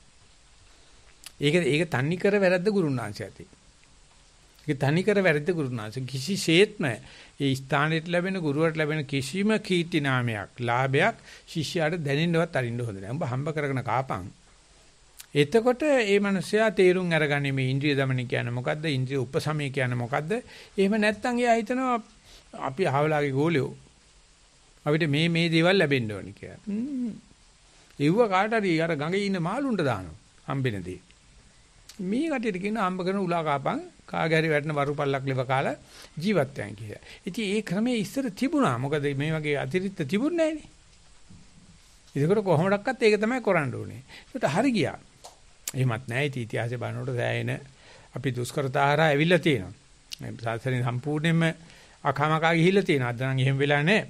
ඒ නිසා මේ මාර්යා එල්ලලා තියෙන දැල දැරගෙන ඒ දරුවෝ ශිෂ්‍යයෝ යෝගාවචරයෝ සබ්‍රක්‍මචාරින් වහන්සේලා මේකෙන් බේරගෙන ජීවත් වෙනවා කියනකොට ගුරුනාංශයේ සෑහෙන වගකීමක් තියෙනවා. උගා ගුරුනාංශලා ඉව මේ සිව්පසේ ලබා දීමෙන් මේ සමනය කරන්න හදනවා. සිව්පසේ ලබා දීමෙන් නම් සෑහෙන අමාරුක වැටෙනවා. ගෝලියොත් අමාරු වැටෙනවා. ගුරුනාංශෙත් අමාරු වැටෙනවා. අද ඉන්න දායකයන්ට මේ ලෝකේ තේරුමක් නැහැ. අමනයි තකතිරුයි මරි මෝඩයි. ඒගොල්ලෝ හිතනවා මේ ඇල්ලොප්පයක් දීපම ඔක්කොම හරියයි කියලා. බුරුමේ හිටියානම් ඇන්ලොප් කඳ ගඩ ගහන්න තිබ්බා. මොකද කිසිම කතාවක් නැහැ පිටරට ඇන්ලොප්පයක් දුන්නා නම් ඇතුලේ සර්පයා. පින්නපාත යනකොට පාත්‍රයට දාන්න. ඉතින් වැඩක් නැහැ. ඉතින් ඒක ඒක ඩොලර් එකක් දැන් චට් මම හිතන්නේ 1000 පැනලා ඇති. ඒ 1000 පැනලා තිබුණේ 1911 වෙනකොට. දැන් 2000 පැනලා ඇති. ලංකාවේ නම් 300යි දාන. උන්ට හිතා ගන්නවත් බෑ. පාන් රාත්තලා ගේන්න විල් බැරක් කෑ සල්ලි අරන් යන්න ඕනේ. ඒත් පාන් නැහැ. ඒ වගේ දේවල් රටවල් ගන්න නැහැ පිටරටින් ගෙන මිසක. ඉතින් ඒ තරම් මේ සල්ලි දීලා ෂේප් කරන එක තමයි ඔය පිටරටවල තියෙන පන්සල් වලට වෙලා තියෙන්නේ මේකමයි. ඔක්කොම සල්ලි දීලා යනවා. බණ භාවනාවක් කරන්නේ නැහනේ. සංඝයාට මේ බෙදා හදාගන්නේ සිව්පසයෙන් අන්‍යෝන්‍ය වශයෙන් උපස්ථාන කරන්න කොහොමද කියලා දන්නේ. දන්න ක්‍රමය අරක ලේසි ක්‍රමේනේ. කියක් හරි අතර දුන්නා ගියා. ඉතින් සංඝයාත් ඒක පිටියල්ලෙන් අරගෙන සාක්කුවේ දාගෙන සල්ලි අල්ලන්නේ නැහැ. අල්ලි නම් අල්ලන්නේ නැහැ. ඒක මේ ලේන්සුර තිබ්බැසේ ලේන්සු හතර කොන එකතු කරලා ඉනේ ගහගෙන ඉන්නවා සල්ලි නම් අල්ලන්නේ. ඌව කිව්වොත් එහෙම අද නම් ගුටි කන්න වෙනවා පාරේ බෑලා. මොකද ඒ තරම් සංඝයා ඉන්නේ පුදුමාකාර උපසමයක මේ කාලේ. කිට්ට හොත්ත ළඟින් මැසෙන්න බැරුව ඉන්නේ. ඉතින් ඒ නිසා ඒව අයියෙන් කියන්න යන්න හොඳ නැහැ. මම එක තැනකදී දෙකදී කිව්වා අපි ධම්මජෝහරික පස්සේ විවේක කතා කරමුනේ මේ සාකච්ඡා දිව කියන්න ඕනේ නැහැ කියලා මාව නිකන් නතර කරා. ආදා විදාන කාපන් කියන එක නැත්තම් මේ උලාගෙන කාන ජීවත් කියන කියන ඒගොල්ලෝ හිතන්නේ කාලකන්නිකමක් කියලා. සංඝයා වෙනකොට අතපය විසිකල සල්ලි වීදම් කරන්න පුළුවන්කම තියෙන්න ඕනේ කියලා. ඒක ප්‍රශ්නයක් නෑ ලොකු ආම්දෝ එහෙම කිරුවට කමක් නෑ. මොකද විහාර කර්මාන්තය වැඩ තියෙනවොත් පොඩි කට්ටියත් එක්ක කරන්න ගියාම. දැන් මේ දෙයියන්ටත් ඒ ටික තමයි බුදුහාමුදුරන්ට කියන්න වෙන්නේ. මේ මායя දැලේ එලලා තියෙන්නේ. ඒකට ආයේ මේ අපි ගිහිල්ලා ගෙත්තම් පන්නන් දැල් පන්නන් රාජකාරී කරන්න ඕන කමක් නෑ. ඒක තියෙනවා. එතකොට මේ ආර්යයන් වහන්සේලා මෙව්ව අතර මේ සමහිත හදාගෙන මේ සමතලයක ගමන් කරන හැටි බුදුජානනාංශේ විස්තර කරනවා. මෙහෙව් සමාජයක එහෙම නැත්නම් මේ මාර්යා විසින් සංවිධානය මේකට කියන්නේ ඉන්ටෙලිජන්ට් ඩිසයින් කියලා කියන්නේ දේව නිර්මාණවාදී. ඒක දෙයයන්ාංශේ මවපු එකක් කියලා. බුදුහාම කියනක තන්නි කර මාර්යා මවපු එකක් තියෙන්නේ. මාර්යාගේ තන්නි කර දැල එලලා තියෙන්නේ මේ කෙනා මවපු කෙනෙක් හිටියා නම් ඒකට කියන්න ඕනේ මහා හොරයි කියලායි කියලා බුදුහාමරෝ කියනවා. ඒකට කියන්න ඕනේ විනාශකයයි කියලා. නිර්මාපකයයි කියන්න බෑ. මොකද නිර්මාණය කරලා තියෙන්නේ අපිව අල්ලන්න. ගුරුනාන්තෙත් අහු වෙනවා. භාවනා හරිය මනසෙත් අහු වෙනවා. හරිය නැති එක්කනත් අහු වෙනවා. භාවනා නොකරන කෙනත් අහු වෙනවා. එතකොට භාවනා නොකරන අයගේ ජනප්‍රිය භාවය වැඩි. ඒක ජනගහනයත් වැඩි. ඡන්දෙත් වැඩි. ඒකට භාවනා කරන ගුරුවරයා එහෙම නිකම්ම කොන් වෙලා යනවා. ඕකනේ බැරිනේ මේ කාලේ කරන්න බෑ. ඔය වැඩ කරන්න යන්න එපා. මේ අපි වගේ ඔය කීයක් කරේ තලා මරාගෙන කාලා ජීවත් වෙලා කියන එක තමයි ඉදිරියට එන්නේ. ඉතින් අන්න එවැනි විශාල ජනමාධ්‍ය තියෙන එවැනි විශාල මේ සංවිධාන තියෙන දේශපාලන පක්ෂ වෛද්‍ය සේවාවල් නීතිඥ නීතිවරු ජනමාධ්‍ය තියෙන ලෝකේ බුදුජානක කියන මේකේ සමහිත පවත්තනවයි කියන එක කම්බිය විදිනවට වැඩිය අමාරුයි. එහෙම හරි ආදර්ශයක් දෙන කියලා දෙන කවුරුවක්වත්ම නැහැ. මේ දැන් දෙයියන්ට බුදුහාමර කියන්නේ දුක්කරං විසමේ ചാපි. ඒ කියන්නේ දුක් පාර හරිම විසමයි. එහෙම නැත්නම් මේ මේ දුෂ්කරයි. ඉතින් මේකේ යනවනම් දැනගන්න පාරේ කියලා. කොතනකාරී සමතලව ලස්සනට පාර තියෙනවනම් කෙලින්ම අපායේ තමයි. ඉතින් ඒ නිසා භාවනා කරන එක න අපි හුඟ දෙනෙක් කියනවා ඉතින් අර විපස්සනාව කරනකොට දුෂ්කර ජීවිතයක් ගත කරන්න වෙන්නේ ඒ සුඛාපටිපදා දුක්ඛාපටිපදා දන්දා විඤ්ඤා කිප්පා විඤ්ඤා කියනකොට දන්දා විඤ්ඤා දුක්ඛ දුක්ඛාපටිපදා කියලා තමයි විපස්සනාව කියන්නේ. ඉතින් ඒක හරි ලස්සනට විස්තර කරනවා මේ Hindu ආගමේ මේ Hindu ගන්නට හදනව නෙමෙයි ධ්‍යාන මාර්ගය ක්‍රියා මාර්ගය භක්ති මාර්ගය සද්ධා මාර්ගය සද්ධා මාර්ගයයි තාම මොකක්ද ඒ නිසා කියනවා හරිම නම් ධ්‍යාන මාර්ගය තමයි භාවනා කරන එක තමයි මේ කාලේ කරන්න බේක අතහැරලා දාන්න. ඒක හරියන්නේ. ඒක හරියන්නේ නැහැ කියලා මහා භාරතයේ විචිම ප්‍රතික්ෂේප කරා. ඊට ක්‍රියා මාර්ගයත් ඒ කියන්නේ ක්‍රියා ඒවට කියන්නේ කුසල ක්‍රියා කියන්න පුළුවන්. ක්‍රියා මාර්ගයේ වගේම තවත් වචනයක් කියලා තියෙනවා යෝගේ. ක්‍රියා යෝග අපි කරුණාවේ මෛත්‍රියෙන් වැඩ කරන එක ටිකක් අමාරුයි.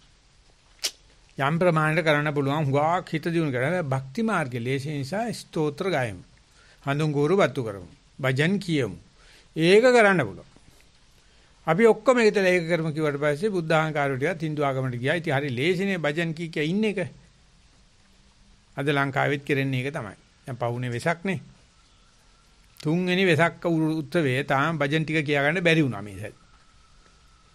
නැත්තම් ස්ටේජ් ගහගෙන රාජ්‍ය නායක විසරයින් තියාගෙන ඉතින් තාක්කු බුකුන් තාක්කු බුකුන් කියලා බෙර ගහ ගහ ඔන්න භක්ති මාර්ගයේ ගමන් කරනවා. ඉතින් මේකට කොච්චර කොච්චර බෞද්ධ අහුණාද කියනවා මුළු ඉන්දියාවෙම බුද්ධ ධර්ම නැති වුණා. භක්ති මාර්ගයේ ඉස්සරහට ආවා. බුදුජානනාංශයේ දේශනා කරලා තිනවා ඒ දුක්ඛපටිපදා දණ්ඩා විඤ්ඤා ඒක අපේ අටුවාචාන් වහන්සේලා ඒක විපස්සනාවට හේතු කරලා තියෙනවා. දුක්ඛ දුක්ඛපටිපදා කිප්පා විඥා කියලා තියෙනවා විපස්සනා හොන්තරම දක්ෂ එක්කනට ඉක්මනට නිවන් දකින්න පුළුවන් දුෂ්කර ගමනක් තමයි යන්නේ. හැබැයි මේ සමතෙන් යන එකන චිත්ත චිත්ත භාවනා කරන එකන සුඛාපටිපදා. එයා කන්ඩිෂන් කරපු ඉන්ටර්කූලර් එකේ තමයි යන්නේ. මේ පාර ටිකක් රළුයි. අලුතාලු හයිවේ එක නෙවෙයි. තව කට්ටියක් ඉන්නවා ඉන්ටර්කූලර් එකේ තමයි යන්නේ හයිවේ එකේ යන්නේ. සුඛාපටිපදා කිප්පා විඥා. ඉතින් කට්ටිය පින් පැටේට සල්ලි දාන්නෙම අnder ওই විඥාව ලබා ගන්න තමයි. ඒක නිකම්ම උඩින් ගිහලා වගේ එහා කුලරකින් ගිහලා නෙමෙයි යන්න පුළුවන්. අර දුක්ඛාපටිපදා නැහැ. ඉතින් ඒ වගේ තමයි භාවනා කරනකොටත් ඉඳගත්තට පස්සේ කෙලින්ම මේ සතිය පිහිටුවට පස්සේ කතා දෙකක් නැතුව එහෙමම රත් වෙච්ච බීයකින් බටර් කෑල්ලක් කපන්න වගේ කාගෙන යයි කියලා තමයි කට්ටිය බලන්නේ. හම්බෙච්ච නම් එකෙක්වත් නැහැ. අනේ දුක්කර විෂම පාර බලාපොරොත්තු යන්නම් ගීගේ අතහරීද අම්මා අප්පා අතහරීද නිශ්චල වස්තු චංචල වස්තු අතහරීද යන්න තියෙන මේ දුෂ්කර මාර්ගය කියලා. විෂම මාර්ගය කියලා. කොහොමද ගෑණිටි කියන්නේ දැන් ගිහිල්ලා? මට මෙහෙටදී හොඳ එකක් හම්බුනේ කියලා කියන්න පුළුවන්. ගෑණිටි කියන්නේ මේකට පොළු හොඳ නැහැ කියලා. යකෝ හෙට ගියාම තොට රැයට කන්න හම්බෙන්නෙත් නැහැ. ඇඳේට මට එන්න විදියකුත් නැහැ. දැන් ඔහුගේ තනියදී හුදියන්න එපා, තනියම ඉල කන්න එපා, තනියම ඉන්න එපා. ඉතින් මොනවා කියලා බේරන්නේ? ඉතින් ගෑනුන්ට කියන මේ මිනිහලාට කිව්වට තේරෙන්නේ නැහැ මේ අකු මොන මොන මොන ලණුවක් කාලද මන් දන්නේ නැහැ කියලා හිතනවා. මේ දුක්කර ප්‍රතිපදාවකට හේතු දක්වනකොට මම මේ බැඳලා නැතුව ඉඳලා මම කාපු පරිප්පුව මන් දන්නවනේ. මට මේ ගෙදර ගෑණි නෙවෙයි මේ අයියලා අක්කලා. අම්මා මෛත්‍රික භාවනා කරපු ඔය කට්ටියත් ව්‍යංගාර්ථයෙන් කොක්කම තමයි දැම්මේ. අපි ඉතින් දැනගෙන හිටපු නිසා දැන් මේ මේ යන වියවුලෙන් අපිට බලපෑමක් එන්නේ අපි දැනගෙන හිටියා. මේ යන පාරේ උයින් එහාට යන්න තැනක් නැහැ. මේකේ බුදුහාමුදුරු කතා කරලා තියෙනවා පාපකාරයෝ අවන්සිර වැටෙන ඔළුව පල්ලෙහාට ගිහලා කකුල් දෙක උඩ තියාගෙන වැටෙන්නේ අපායට. දැන් ලින්දර පයින්නකොට කකුල් දෙකෙන් පැන්නොත් එහම රොඩේ එන්න පුළුවන්. ලින්දර පයින්නකොට පයින්නොත් ඔළුව පල්ලෙහාට දායි. ඒකට ගන්නකොට හීම් බබුළු දාලා මැරලත් ඉවරයි. දැන් කෙලින් කර ගන්නකොට වැඩි වෙලා ඉවරයි. දැන් කෝච්චර පයින්නකොට කකුල් දෙක දාලා පයින්නකො ඉස්සලා බලන්න මැරෙන්නේ නැහැ. ඔය අමාරු එන්ජින් එක පැන්නට පස්සේ දාන්න ඕනේ. මොකද එන්ජින් එකට ඉස්සරහා කවුකචර් එකට ඔළුව දාන්න බෑ. පොඩ පරිණවන පරිසං වෙලා පයින්න මොකද මැරෙන්නේ නැහැ නැත්තම්. කවුකචර් එකට විසි වෙනවා. එන්ජින් එක යන්න ඇරලා දෙවෙනි පෙට්ටියට වගේ තියන්න ඕනේ ස්ටේෂන් එකට කිට්ටුව. මොකද දුවනකොට පළවෙනි රෝදේ දෙවෙනි රෝදේ අතර ඔළුව රිංග ගන්න බෑ. හොඳට මතක තියාගන්න ඕනේ. සෙල්ලන්නේ ඔය තනි පොළවේම දාන්න යන්න එපා ඔළුව. එතකොට කොණ්ඩේ කපලා එච්චරයි වෙන්නේ. මොකොත් වෙන්නේ හරියට එන්ජින් එකට කිට්ටු කරලා එන්ජින් එක sorry ස්ටේෂන් එකට කිට්ටු කරලා නතර කරගෙන එනකොට එන්ජින් එක මගාරවල දෙවෙනි කෝච්චියේ දෙවෙනි පෙට්ටියට තුන්වෙනි පෙට්ටියට තියන්නේ ඒක ඩ්‍රයිවර්ට පේන්නේත් නැහැ. ඩ්‍රයිවර්ට පේන්නේ පාරායින් ඉඳගෙන කවුරු ටිකක් භාවනා කරගෙන හිටියනම් දැක්ක තමයි ආ බලනකොට මෙන්න කෝච්චිය දඩදරස් ගෑවා. හැබැයි සාමාන්‍ය මිනිස්සෙක් කවුරුනට කෝච්චිය දඩදරස් ගන්නෑ. එතකොට කතාව ඉවරයි. මේ අවංසිර කියලා කියන්නේ අපි මේ කරලා තියෙන කර්ම වලට අපි වැටෙන්නේ අපිට ළම අපචාර සිද්ධ වෙලා අපි අහුවෙලා හිරගෙදරදී තමයි සත්‍යපාසල අපිට හම්බෙන්නේ. එහෙම නැත්නම් කුඩු ගහන මේ පුනරුත්ථාපන මධ්‍යස්ථානදී හම්බෙන්නේ. මොකද අවංශිර කියලා කියන්නේ ඔළුව පල්ලෙහාට වැටලා වැටෙන්නේ. ඒ මොකද හේතුව මේ දුෂ්කර මාර්ගය කියලා නොකර නිකන් ඉන්නවා. විසම මාර්ගය කියලා නොකර නිකන් ඉන්නවා. බුදුජානක මේ දෙයයන්ට කතා කරලා කියනවා මේ පාරේ දුක්කරං විසමෝචාපි. පාර දුෂ්කරයි විසමයි. ඒ බව දැනගෙනයි ආර්යනාංශ මේකට බයින්නේ. ඒක දිසයි කියන්නේ ඒකට බයින්ද ඉස්සලා රහත් වෙලා තියෙන්න ඕනේ. ඔක තමයි මට අම්පිටි රාහුල ආමරු කිව්ව මහත්යෝ මහාන වෙලා නම් රහත් වෙන්න බෑ. රහත් වෙලා හිටියොත් මහානකම කරන්න පුළුවන් කිව්වා. මේ කට්ටිය ඉන්නේ මේ නිකන් කණ්ඩ හම්බ වෙයි බොණ්ඩ හම්බ වෙයි කියලා මෙහෙනවා මහානකම් කරා. මම මහානවා ඉදිකටු අරගෙන. මෙහෙට ආවට පස්සේ මහානවා පුට්ටු වෙන්න ඔය තියෙන හිල් නමේම. ඒක කරන්න බෑ මේ මෙහෙනවනම් වරින් ඕන දෙයක මල් කොල්ල කොල්ලට හරි ගවන්න මල්ලි හරි ගවන්න වැඩි කරන්න බලාගෙන වරින් එතකොට යාට හම්බ වෙනවා මේ අරියා නිග්ගච්ඡanti කාමදාව මේ අරිය යන්නේ කාමද දැනගෙන මේ පාරේ මේ ඉස්සරහට එන්න තියෙන දේවල් වෙන බව අපි දන්නවා එතකොට ආයේ මේ කවුරු රජකම් කරුවත් ඕක කොහොම තමයි කවුරු ඒ අලුගෝසුකම කෙරුවත් දඬුවම දඬුවම තමයි. දන්නේ නැති මනුස්සයන්ට මේකට අඳුමයි කියනවා නිවුස් එකක්. මේක අපිට මේක එන්ටර්ටේන්මන්ට් එකක්. ওই නිවුස් ව්‍යාපාර වලින් කරන්නේ හැම ප්‍රවෘත්තියකීම ජොලියක් හදලා දෙන එක. ආතල් එකක්. දැන් වනයේ ජීවත් වෙන අපිට මේ යන නාටකම් දිහා බලනකොට පොඩි එන්ටර්ටේන්මන්ට් එකක් තියෙනවා. ඒ මිනිස්සු මේ ජීවිත පරිත්‍යාගය කරන්නේ ඔය සෙල්ලම් සෙල්ලම් අපි මෙහෙම කතා කරනවා දැනුණත් ඒගොල්ලන්ට කේන්ති යනවා. මේ පොඩි එන්ටර්ටේන්මන්ට් එකක් තියෙනවා. මොකද බුදුහාමුදුරු පෙන්ලා දීලා තියෙනවා අනිච්චං කියලා. බුදුහාමුදුරු කියලා තියෙනවා අනිච්ච දේ දුකයි කියලා. ඉතින් ඔය ඔය වෙන දේ අනිච්චං කියලා හෝ වෙනසේ දුකයි කියන එක තව උද්දීපන වීමක් නෙවෙයි සිද්ධ වලින් පේන්නේ. ඒ සූදානම් මනස තියෙනවනේ. මොකද අපි ඇවිල්ලා තියෙන දුෂ්කර ගමනකනේ විසම තැනකටනේ. අර නිවාසී ජීවිතය කිව්වම ඉතින් ලෝකේ සමස්ත පිළිගැනීමක් නේ ඒක දුෂ්කරයි කියලා. ඒක විසමයි. අරණසේනාසන තියෙනෝ ගිරි දුර්ග වනාරණ ගල් අරඹ ඒවයි තමයි තියෙන්නේ. ඉතින් ඒ ජීවිතේට එන්නෙම ඒ පෙර පිං කරපු ඒ ඒ පාරමිතා පුරපු අයට විතර එන්න පුළුවන්. අනිත් එක එන්න එන්න කියන්නත් එපා.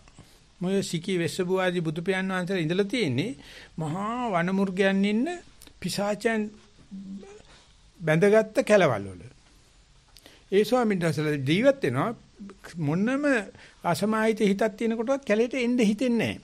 එන්නේ මේකේ බුදුන් වැඩ ඉන්නවා. මගේ දිගට පිසාචෝ ඉන්නවා.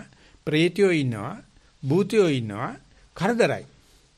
වෙන කරන්න දෙයක් නැහැ. ගමේ ඉඳලා වැඩක් නැහැ. ඉතින් අර එනවා අරව කාගෙන බුදුන්සේ ළඟට ආපු ගමන් මොනවද කියන්නේ නැතුළු අනිච්චං දුක්ඛං අනත්තං. එච්චරයි. අකුරු 8යි. ඒක කියනකොට රහත් වෙනවා. මොකද එයා එනකොට කාලා තියෙන්නේ. එන්නෙම ඔය බුදුහාමුදුරු හම්බෙලා දිව්‍ය ලෝකේ යන්න හම්බ වෙයි. දිබ්බ චක්ක ඥාන ලම්ප හම්බ වෙයි. දිබ්බ සෝතය ඒව මොකක්වත්ම නැහැ. මේ අපේ සරුවච්චන්හන්සේ විතර එක්කෙනෙක් සෝවාන් කරන්න ගව්ගනම් පයින් ගිහිලා තියෙනවා. අනික් පුදුරජානන්සලා එළියටවත් ඇවිල්ලා නැහැ. ධර්මයේ එකමයි. එතෙන් ගියේ විශේෂයෙන්ම අපේ බුදුහාමරගේ පූර්ව බුද්ධ ශාසනය අවුරුදු 20ක්ම බුදුරජාණන්සේ ළඟට ගියේ ඔක්කොම පින් කරපු ඇත්තෝ. කිසිම විනයක් තිබුණේ නැහැ. කිසිම ධර්මදේශනාවක් තිබුණේ නැහැ. කිසිම ශිෂ්‍යානුශිෂ්‍ය પરම්පරාවක් තිබුණේ නැහැ. කිසිම සේනාසනයක් තිබුණේ නැහැ. ගහක් ගහක් යටතේ කියන මෙච්චර කරණ තියෙන කෙරුවා ඉවරයි.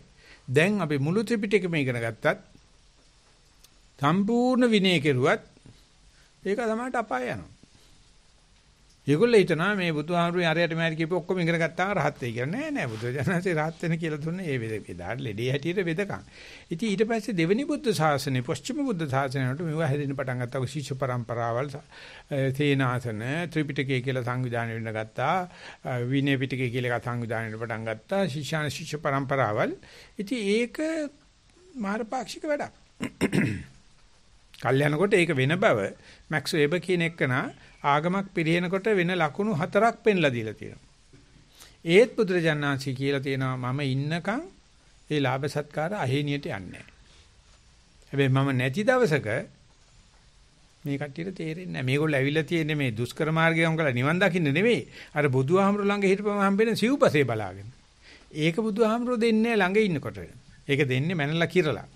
බුදුන්සේ නැති වුණාට පස්සේ මේ නිසනවනේ 70 86 විතර වෙනකොට වෙනකම්ම සංඝයාට ලැබෙන ද්‍රව්‍ය තිබිලා තියෙන පල්ලිය ගබඩාවේ. ගිහි යටතේ. ඉතින් හදිසි කියලා මොනවද ලිනෝට කරනවලු ගබඩාවේ මොකුත් නැහැ කියනවලු. ඉතින් හැමදාම අපිට පේනවා බණ කෙලිවරච්චාමයි පිනිසු තානේ පූජා කරන එක ගැන. ගිලම්පස බඩුත් පූජා කරනවා. මොනම දෙයක්වත් කරන්න ගියාම නැහැ. ඉතින් මේක ලොකු සාමින්නාංශ ක්‍රමයේ තමයි කරන්න එපා. ඒ පව් ටික ඕන්න ඒගොල්ලෝ ගත්තා වෙයි අපිට සිව්පස්සේ කතා කරන්න එපා. පස්සේ ඥානানন্দ ස්වාමීන්සේ කෝවිද ස්වාමීන්සේ එකතු වෙලා එතකොට සද්දාශීල ස්වාමීන් වහන්සේත් මැදිලා තියෙන ගණ්ඩ උඩහට ගබඩාව. ඒක සංඝ ගබඩාවක්. සංඝයා මේක කරන්න ඕනේ කියලා. කිරුවට පස්සේ ලොකු ස්වාමීන්සේ කියලා තියෙන එක කෙරුවට කමක් නැහැ. අපි ගබඩා සම්මුතියක් දීලා භාණ්ඩාගාරක සම්මුතියක් දීලා අපි යාට කිලා කරමු.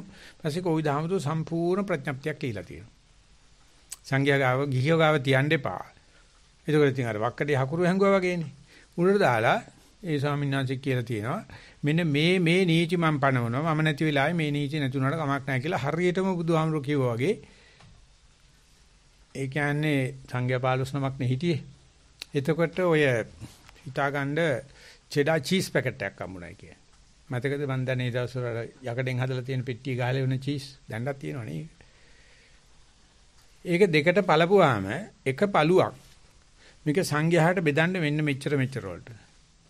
ඉතිරිපළුවේ මෙච්චරක් කැපකාර මණ්ඩලයේ මෙච්චරක් අනිකුත් උපස්ථායකයට කියලා හදලා යටිලිය තිනවා වැඩට එන අයට කිසිවක් නැත කියලා. ඉදා වැඩට එන අයට කිසිවක් නැහැ. ඒ කියන්නේ චීස් කෑල්ල කපලා බෙදෙන හැටි සම්පූර්ණ ඇඳලා ඔය කපඩාවේ මේ යකඩ කපඩේකේ ගාලා තිබුණා. ඊට පස්සේ කිව්වා මම ස්ටුවර්ට් කෙනෙක්. මම හොඳට හෝටල් පාලනය කරලා තියෙනවා. මම නැති වුණාට පස්සේ මේක මෙහෙම විය යුතු නෑ කියලා උන්වහන්සේ මේ ලියපු එක මම ඊට පස්සේ කපඩාව කරනකොට මම ඥානදුසාරසේ කතන්දර කියලා දුන්නා. ඒ වගේ තමයි බුදුජානසේ ඉන්නකන් ওই සිව්පස්සේ මොනවා ලැබුණත් උන්වහන්සේගේ අධිකාරී ශක්තියක් තියෙනවා. ඒ ශිෂ්‍යයන්ට අනවශ්‍ය සැප දෙන්න යන්නෙත් නෑ, දුක දෙන්න යන්නෙත් නෑ. ඒගොල්ලන්ට කියන උපසම්පදා මාලකයේදීම උඹලට මම සහතික වෙනවා, උඹලට මම සහතික වෙනවා පාංශුකූල සිවුරේ. ඔය පාරයින් තියෙන රිදි කැල්ලක් කියන්නේ මෙන්න මෙහෙමයි එක හදන්නේ ඒක සහතිකයි. උඹලගේ පෙරපින් තියෙන නම් ඔය ඔය දැන් තියෙන ඔය එක එක જાති සිවුරු හම්බුවේ. ඒ වගේම පින්ඩපාතේ පාත්‍රය අරන් ඵලයන් අනිවාර්යයෙන්ම සහතිකයි මිනිසු බලර මොනවා හරි කන්න දෙයි තඹපු බතක්. අතිරේක ලාභ වශයෙන් පීට්සාද පරාටාද ඕනේ මගුලක් හම්බුවේ. ඒක අතිරේක ලාභ. මේ කිරි කන්දර ගල් ගුහා යටතේ භාවනා කර බල ගස්සයට උඹලට දෙපළ ඇඳපු ගෙවල් හතර ඇඳපු ගෙවල් හම්බ වෙනවනම් සත්මාල් ප්‍රාසාද ඒක අතිරේක ලාභ. පූති මුත්ත බේසජ්‍ය අනිවාර්යයෙන්ම වලට තියෙනවා. දෙකට නැමෙන එක විතරනේ කරන්න ඕනේ. බීපං අතිරේක ලාභ වශයෙන් තප්පීනවනීතං තේලං මදුපාණිතං හම්බ වෙයි. මේක උපසම්පදා මාලිකේ කියන්නේ රජ පැටියෙක්.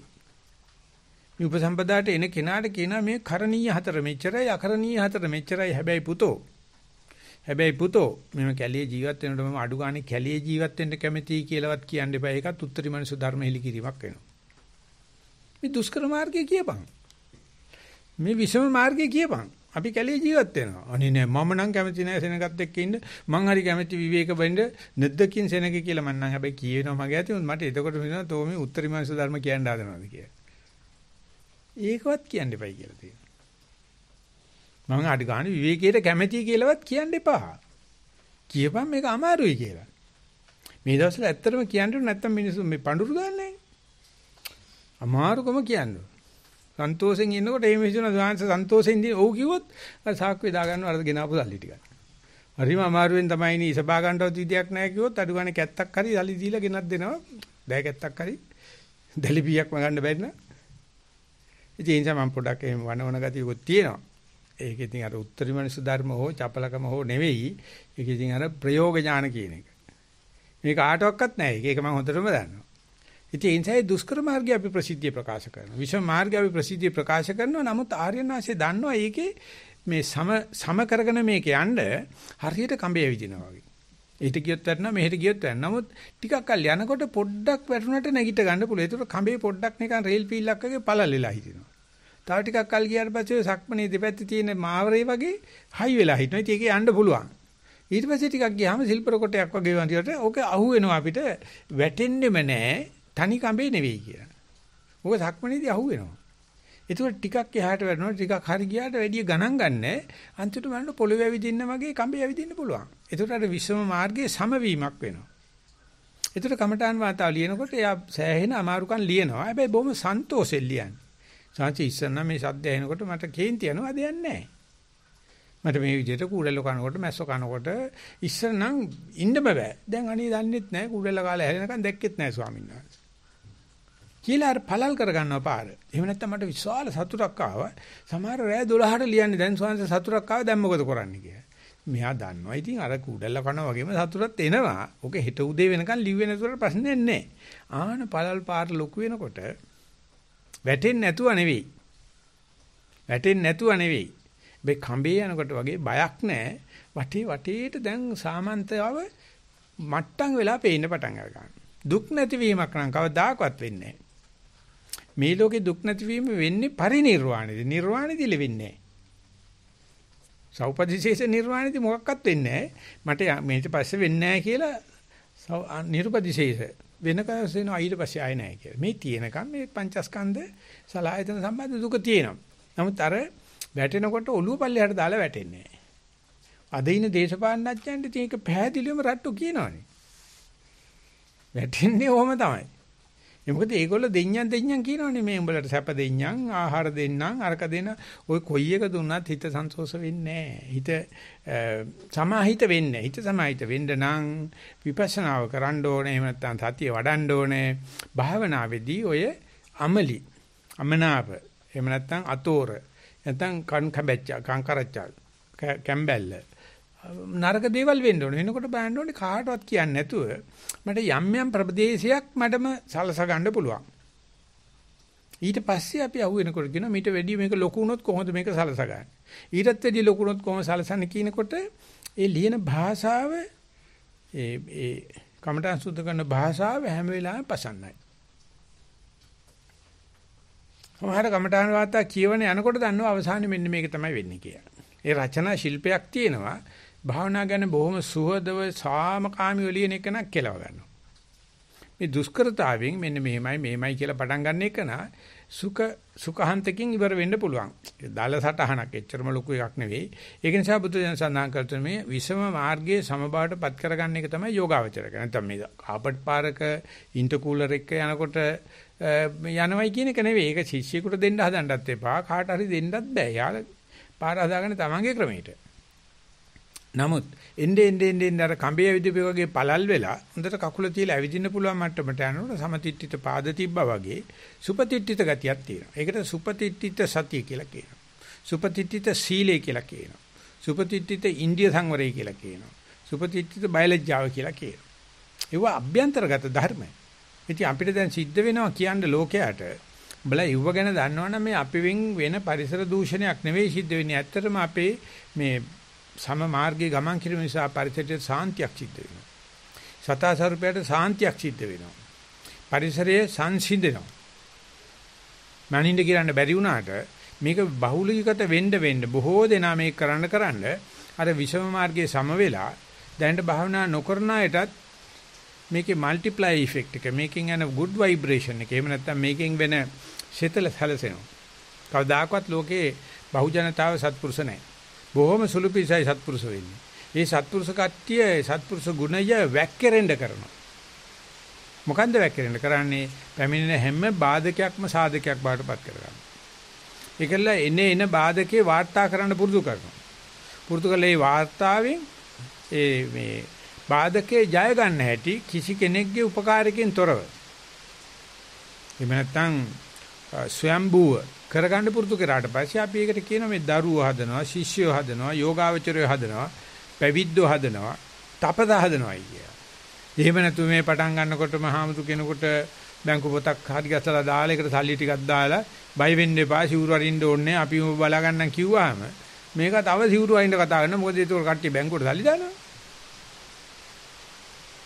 ඒකයි අද වෙලා තියෙන්නේ. ඒවට කතා කරනකොට කියනවා කියනවා කියනවා මේ සංඝයාට මේ සල්ලි වලින්වත් වෙන ඒජන්ත කෙනෙක් ගන්න කිසිම ආධාරයක් කරන්න එපා ධර්මාධාරය දෙන්න සත්‍ය ආධාරය දෙන්න නැගිටිනවා එතකොට අපායට ගියත් යම රජුරෝ පැත්තකටලා ගියායි පොඩ්ඩක් මේක පරීක්ෂා කරන හිටපන් මාත් හරි කරදරෙන් ඉන්නේ මේ උඹට අපා දඬුවම් කරන්න ඕනේ මේ දෙදෙව්ලොවට අධිපති වෙලා හිටපන් කියලා කියන යම කියලා කියන්නේ ලෝක දෙකක්. අපායයි දිව්‍ය මනුස්ස ලෝකේ දෙකම යමයි. දෙකම පාලනේ බාරදී. එයිසා මේ භාවනා කරනකොට ඔය දෙයියෝ කියන්නේ අහන්න යන්නත් එපා. දෙයියොත් එන්නේ අපේ කෙනෙක් ගාවට. අපේ බුදුහාමුදුරු ගාවට. බුදුජානක සඳහන් කර තියෙන්නේ ඒ විෂම මාර්ගයේ සමහිත හදාගන්න එකක් බුදුජානන්ත වහන්සේ මේ පාපකය පාප කරන කට්ටිය කරදරයකදී ඔළුව පල්ලෙහාට දාලා වැටෙන්නේ. උද්දන් උද්දම් පාද අවං සිර කියලා කියන. කකුල් දෙක උඩ ඔළුව පල්ලෙහාට දාලා තමයි වැටෙන්නේ. ඉතින් ඒක වෙනකන් තමයි මේ පෙන් කෙල කෙල ඉන්නේ. නමුත් භාවනා කරන එක එතකන් ඉන්නේ මේ වෙනකොටත් අපි මේ ඉන්නේ අමාරුවෝ කියලා හැම චිත්තක්ෂණයකම සතිය වඩ아가න ඒ අමාරුයි සතිය වඩ아가න ආනපාන යන ගමන කඹේ විදිනා වගේ නමුත් ඒක සාමාන්‍ය දෙයක් බවට පත් කරගත්තට පස්සේ ඒ කෙනාට ඒ දුෂ්කර මාර්ගයේම තමයි ප්‍රතිපදාව වෙන්නේ. මේ සුඛා මාර්ගයක් හම්බෙලා ඒකෙන් ඉස්සරහට යන්න හදනවා නම් යන්නෙම නැහැ කියලා කියන්න පුළුවන්. ඒ නිසා පැමිණි දුක් පැමිණි රහයි කියන එකයි මේ කියන්නේ. ඒ නිසා මේ අද කාලේ මේ පවතින විෂම වාතාවරණය සහ විෂම දේශපාලන ආර්ථික කුණාටු තියෙන යුගයේ භාවනා කරන එකනට පාරට කිසිම මැස්සෙක්ගෙන් කරදරයක් නැහැ. ඒකම ලකුණක් අපි යන්නේ ඒකාන්තයෙන්ම සාන්තිකර තැනකට කියලා බලන්න. ඒ වගේම ඒක වාර්තාකරණය කළ යුතුයි කියන එක බුදුරජාණන්සේ ඔය පල්ලෙහා කරන වැඩමුළුවේ කියලා දෙනවා. හරියන එකාගේ වැඩේ තමයි ඒවා දැනගෙන හරියට මේකට ක්‍රියාත්මක වෙලා ඒක කියනවා ලෝකයට. මේ දුෂ්කරතා සියල්ලම වෙස්සලාගත්ත සුභාශිංසනයක්. ඒ නිසා ඒක හරියට තනියේ දණ්ඩේ යන මිනිස්සෙක් වාගේ තේල් පීරක ඇවිදින කෙනෙක් වගේ Taman යන ගමනේ ඒ වැඩි හැල හැප්පිලි නැත්තම් අන්තවාදී නොවි මැද මාර්ගයේ යන්න ඒක සුවසේ යන්න මේ ධර්ම දේශනාවත් හේතු ආසනාව වේවා කියන ප්‍රාර්ථනාවෙන් අපි ධර්ම දේශනාව સમાપ્ત කරනවා සිල් දෙනාට සනසීමු දා වේවා කියලා ප්‍රාර්ථනා. දැයි අපි බ්‍රහස්පතින්දා චාරිත්‍රයේ හැටියට ධර්ම දේශනාවෙන් පස්සේ අපි කෙටි සාකච්ඡාවකට උම වෙනවා දේශනේ මාර්ගයෙන් ඉදිරිපත් වෙච්ච කරුණු මතින් හෝ කමඨාන් සුද්ධ කරන චීර්සේ ඉතින් සාකාට හරි සාකච්ඡාවක මාර්ගයෙන් ඒ වගේ ඉදිරිපත් කරන්න යමක් තියෙනවා නම් ඉදිරිපත් කරන්න කියලා ගෞරවයෙන් ආරාධනා කරනවා. අවසරයි ස්වාමින් වහන්සේ. ඔව්. මම නිරංජා. ස්වාමින් වහන්සේ මේ පැත්තෙන් ලිඛිත වාර්තා එකක් ලැබිලා තියෙනවා. අවසර ලැබුණ විදිහට ඉදිරිපත් කරමු මොකද මේ පැත්තෙන් මොකක්වත් ගෝසාවක් නැහැ. එහෙමයි ස්වාමින් වහන්සේ. ගරුතර ලොකු ස්වාමීන් වහන්සේට নমස්කාර කරමින් කමඨහන් වාර්තාව ඉදිරිපත් කරමි. සක්මන සහ පරයන්කය. ඔබ වහන්සේගේ පසුගිය කමඨහන් උපදේශ වූයේ භාවනාව ලක්ෂ නැවත නැවත බහුලීගත කළ යුතු බවය. අමාරු වැඩකි. නමුත් උත්සාහ කරමි. මේ එම සංඛ්‍යා ලේඛනයේ දෙවන භාවනාව වේ. අද අටසිල් සමාදන් වී සංකල්පය සහ යථාර්ථයේ දේශනාවට සවන් දී අවසන් වූ පසු සක්මන ආරම්භ කෙරුවෙමි.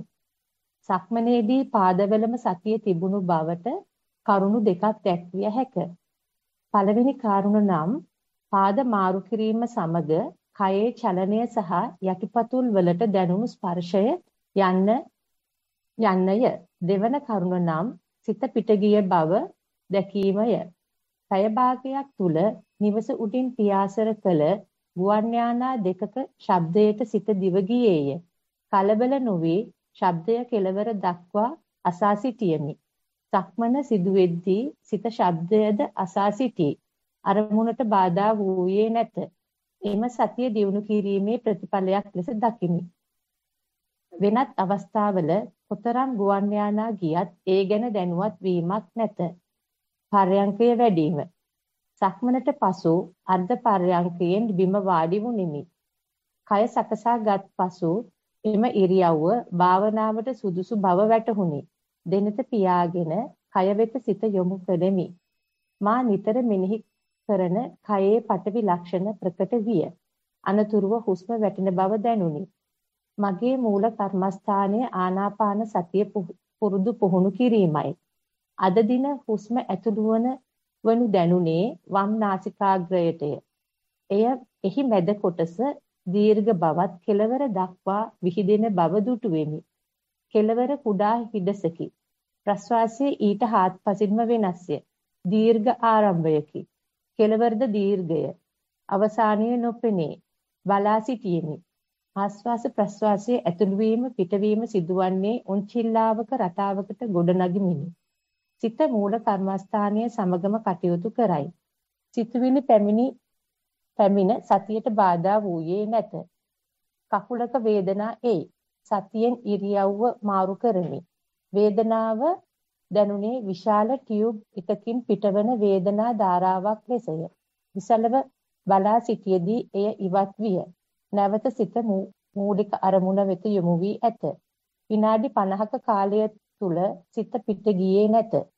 පිටක්කේ ලෙස සිත අරමුණෙහි පිහිටුවා ගැනීමටත් විචාර ලෙස අරමුණු හාත්පසින් අවදීන් විචාරශීලීව බලා සිටීමටත් හැකි වූ බව සඳහන් කරන්නේ සන්තුෂ්ටියෙනි. ඔබ වහන්සේට දීර්ඝ ආයුෂ ප්‍රාර්ථනා කරමි. සියලු දෙනාටම තෙරුවන් සරණයි. එපමණයි ස්වාමීන් වහන්සේ. ඔව් හොඳට භාවනා ගිහිල්ලා තියෙනවා නමුත් රචනයේ නම් දිග වැඩි. මට පේන්නේ දෙපාරකට লীලා තියෙනවා මානසිකත්ව දෙකක লীලා තියෙන්නේ කියවලා লীලෙවලා කියවලා බල්ලත් නැහැ. ඒ නිසා ඉස්සරහට වෙන්නේ ගොඩක් වෙලාවට ওই රචනයේ ඔයිට වැඩි හොඳට සංක්ෂිප්තව ඉදිරිපත් කරන්න පුළුවන් වෙන එක තමයි. භාවනාවෙන් නම් ලක්ෂ වාරයක් කරන්න ඕන. ආශාන්තරාවක් එනකොට බ්‍රහ්මේක්ෂාචරණය කියලා අපිට උගන්වන භෞතික විද්‍යාවේ ආශාන්තරාවෙන් නිකුත් වෙන සද්දේ Taman දිහාවට එනකොට එnde ende ende ende ende සද්ද තරංග 2 3 4 5 එක සැරේ කම්බරේ වදිනවා. ආශාන්තර ළඟට එන්නේ. ඒක තැනකට ආවට පස්සේ සුපර්සොනික් එක නම් දරන්න බැරි විදිහට කන් අඩි පුපුරනවා. නිසා දැන් සුපර්සොනික් හැදිලා නතර කරා. අර එන වේගය සද්ද වෙන සද්ද තරංගයටත් වැඩිය වැඩි නම් කන් බෙරේට පුරුදු කරගන්න බෑ කන් අඩි පුපුරනවා. එයාපෝට් එකේ ඉන්න කට්ටියට ඔක්කොටම මෆල්ස් දාන්න වෙලා තියෙනවා. එහෙම නැත්නම් එයාපෝට් එකේ හිටවල තියෙන පොඩි ලයිට් කණු ගලවලා යනවා. දෙතරන දෙතරිල්ලට. ඊට පස්සේ ඒක යනකොට ඒ තරම්ම වේගකින් සද්ද පිට වෙනවා. එnde ende ende සද්දය කඩ කඩ වෙලා එන්න පටන් ගන්නවා. ඒ නිසා අපිට ඇහෙන්න පටන් ගන්න තැන භාවනා කරන එක්කනාගේ අවධානය අනුව වෙනස් වෙනවා. සමහරෙකුට හොඳට භාවනා කරනකොට දැන් අපි මෙතන ඉන්න කිලෝමීටර් 30ක් විතර තියෙනවා කටුනායකට. කටුනායකේ එන්ජින් එක රේස් කරනවා ඇහෙනවා මෙහෙට. ඊට පස්සේ අරගෙන ප්ලේන් එක මෙතෙන්ට එනකම්ම ඒ සද්ද වැඩි වේගන ඇවිල්ලා අපි ළඟ යනකොට උම් ගාලා දෙදරගෙන එහා පැත්තට එන හැටි මේ ආනපාන පැත්තක තියේදී අර සද්ද වේගයේ බෙල් ෂේප් කර්ව් එකට යන හැටි දැක ගන්න පුළුවන්. හැම සද්දයක්ම එහෙම තමයි. අපි ළඟට එනකොට ඒකේ අර හට ගන්න හැටි අපිට ඇහෙන්නේ නැහැ. මොකද හිත අන්‍ය විහිතයි. තාශාන්තරාවේදී අර කවදාකවත් ආසන්තරාව එහෙම තරුංගලේ කූරිය ගහක යන්නේ නැහෙනි. කෙලින්ම තමයි යන්නේ. ඉතින් ඒ නිසා හොඳට බ්‍රහ්මේක්ෂාචරණේ තේරුම් අරගන්න පුළුවන්. ශබ්ද තරංගයක් අපි දිගට අහගෙන ඉන්නකොට වෙන දේ. ඉතින් ඒ වගේ බලනකොට අපිට අම්මා බැන්නත්, ගෙදර ගෑණි කතා කරනකොට තරහා ගියත් මුල් ටික ඇහෙන්නේ නැහැ.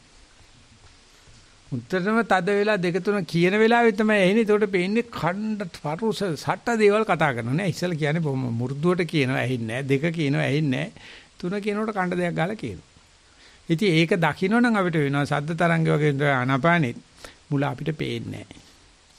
නාස්පුඩු පුරවාගෙන යනකොට තමයි පේන්නේ. ඊට පස්සේ ඒක ගෙවෙනව පේන්නෙත් නැහැ. ඉතින් ඒ නිසා ඒ සද්ද තරංගයක් ඇහුවත් ආනාපානෙ බැලුවත් හැම දෙයකම තියෙන සංස්කාර ලක්ෂණය. ආරම්භයක් තියෙනවා, මැද මහා පෙරරියක් තියෙනවා, දෙතුරුමක් තියෙනවා, ඊට පස්සේ අවසානයක් තියෙනවා. නමුත් කවදාකවත් අපි ඒ තුන එකකවත් දැකලා නැහැ. අපි ඒකයි මේ තාම ඒකයි තාමත් සංසාරේ. බණත් අහන්න ඇති, බුදුන් දකින්නත් ඇති. නමුත් මේ මුලමදාග දැකලා නැති නිසා ඒ නිසා ලක්ෂ වාරයක් භාවනා කරන්න හැබැයි එnde ende ende රචනය කිටි කරන්න කියලා කියන්න පුළුවන්. එහෙමයි ස්වාමීන් වහන්සේ ලැබිලා තියෙන වාර්තා එපමණයි ස්වාමීන් වහන්සේ. සාදු කියනවා ඒකට නම්. ඉතින් මේ මේ යෝග මම හිතන්නේ අදත් කරනවා කියලා කිව්වයි. ඔව් ඒක නිසා අපිට තව තියෙනවා විනාඩි පැයක විතර වේගයක් කාලයක් තියෙනවා. ඒ නිසා ප්‍රශ්න නැති නිසා අපි මෙතනින් සතිವಾರය સમાપ્ત කරනවා. ඊ වගේ යෝග අභ්‍යාස වලට කැමති කට්ටිය මේ ඒ සඳහා යොදන්න පැයක කාලයක් තියෙනවා. අපි ඒ නාමයෙන් සාකච්ඡා સમાપ્ત කරනවා. ශිරු දිනාටම තෙරුවන් සරණයි. දැන් අපි එන පාලි කුටියට ආමන්ත්‍රණය කරමු. අවසරයි. අතිපූජනීය නායක මාහිම්පාණන් වහන්සේගේ අවසරයි. පූජනීය මහා සංඝරත්නයන් අවසරයි. දවසේ සිදු කරනු ලබන ධර්ම දේශනාව සහ ධර්ම සාකච්ඡාවයි දැන් මේ නිමා වුණේ.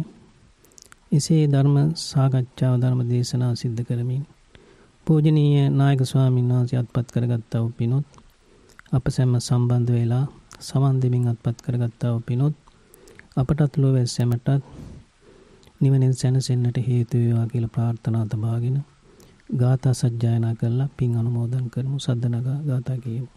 ittavata jamhe sambatan punya sampadang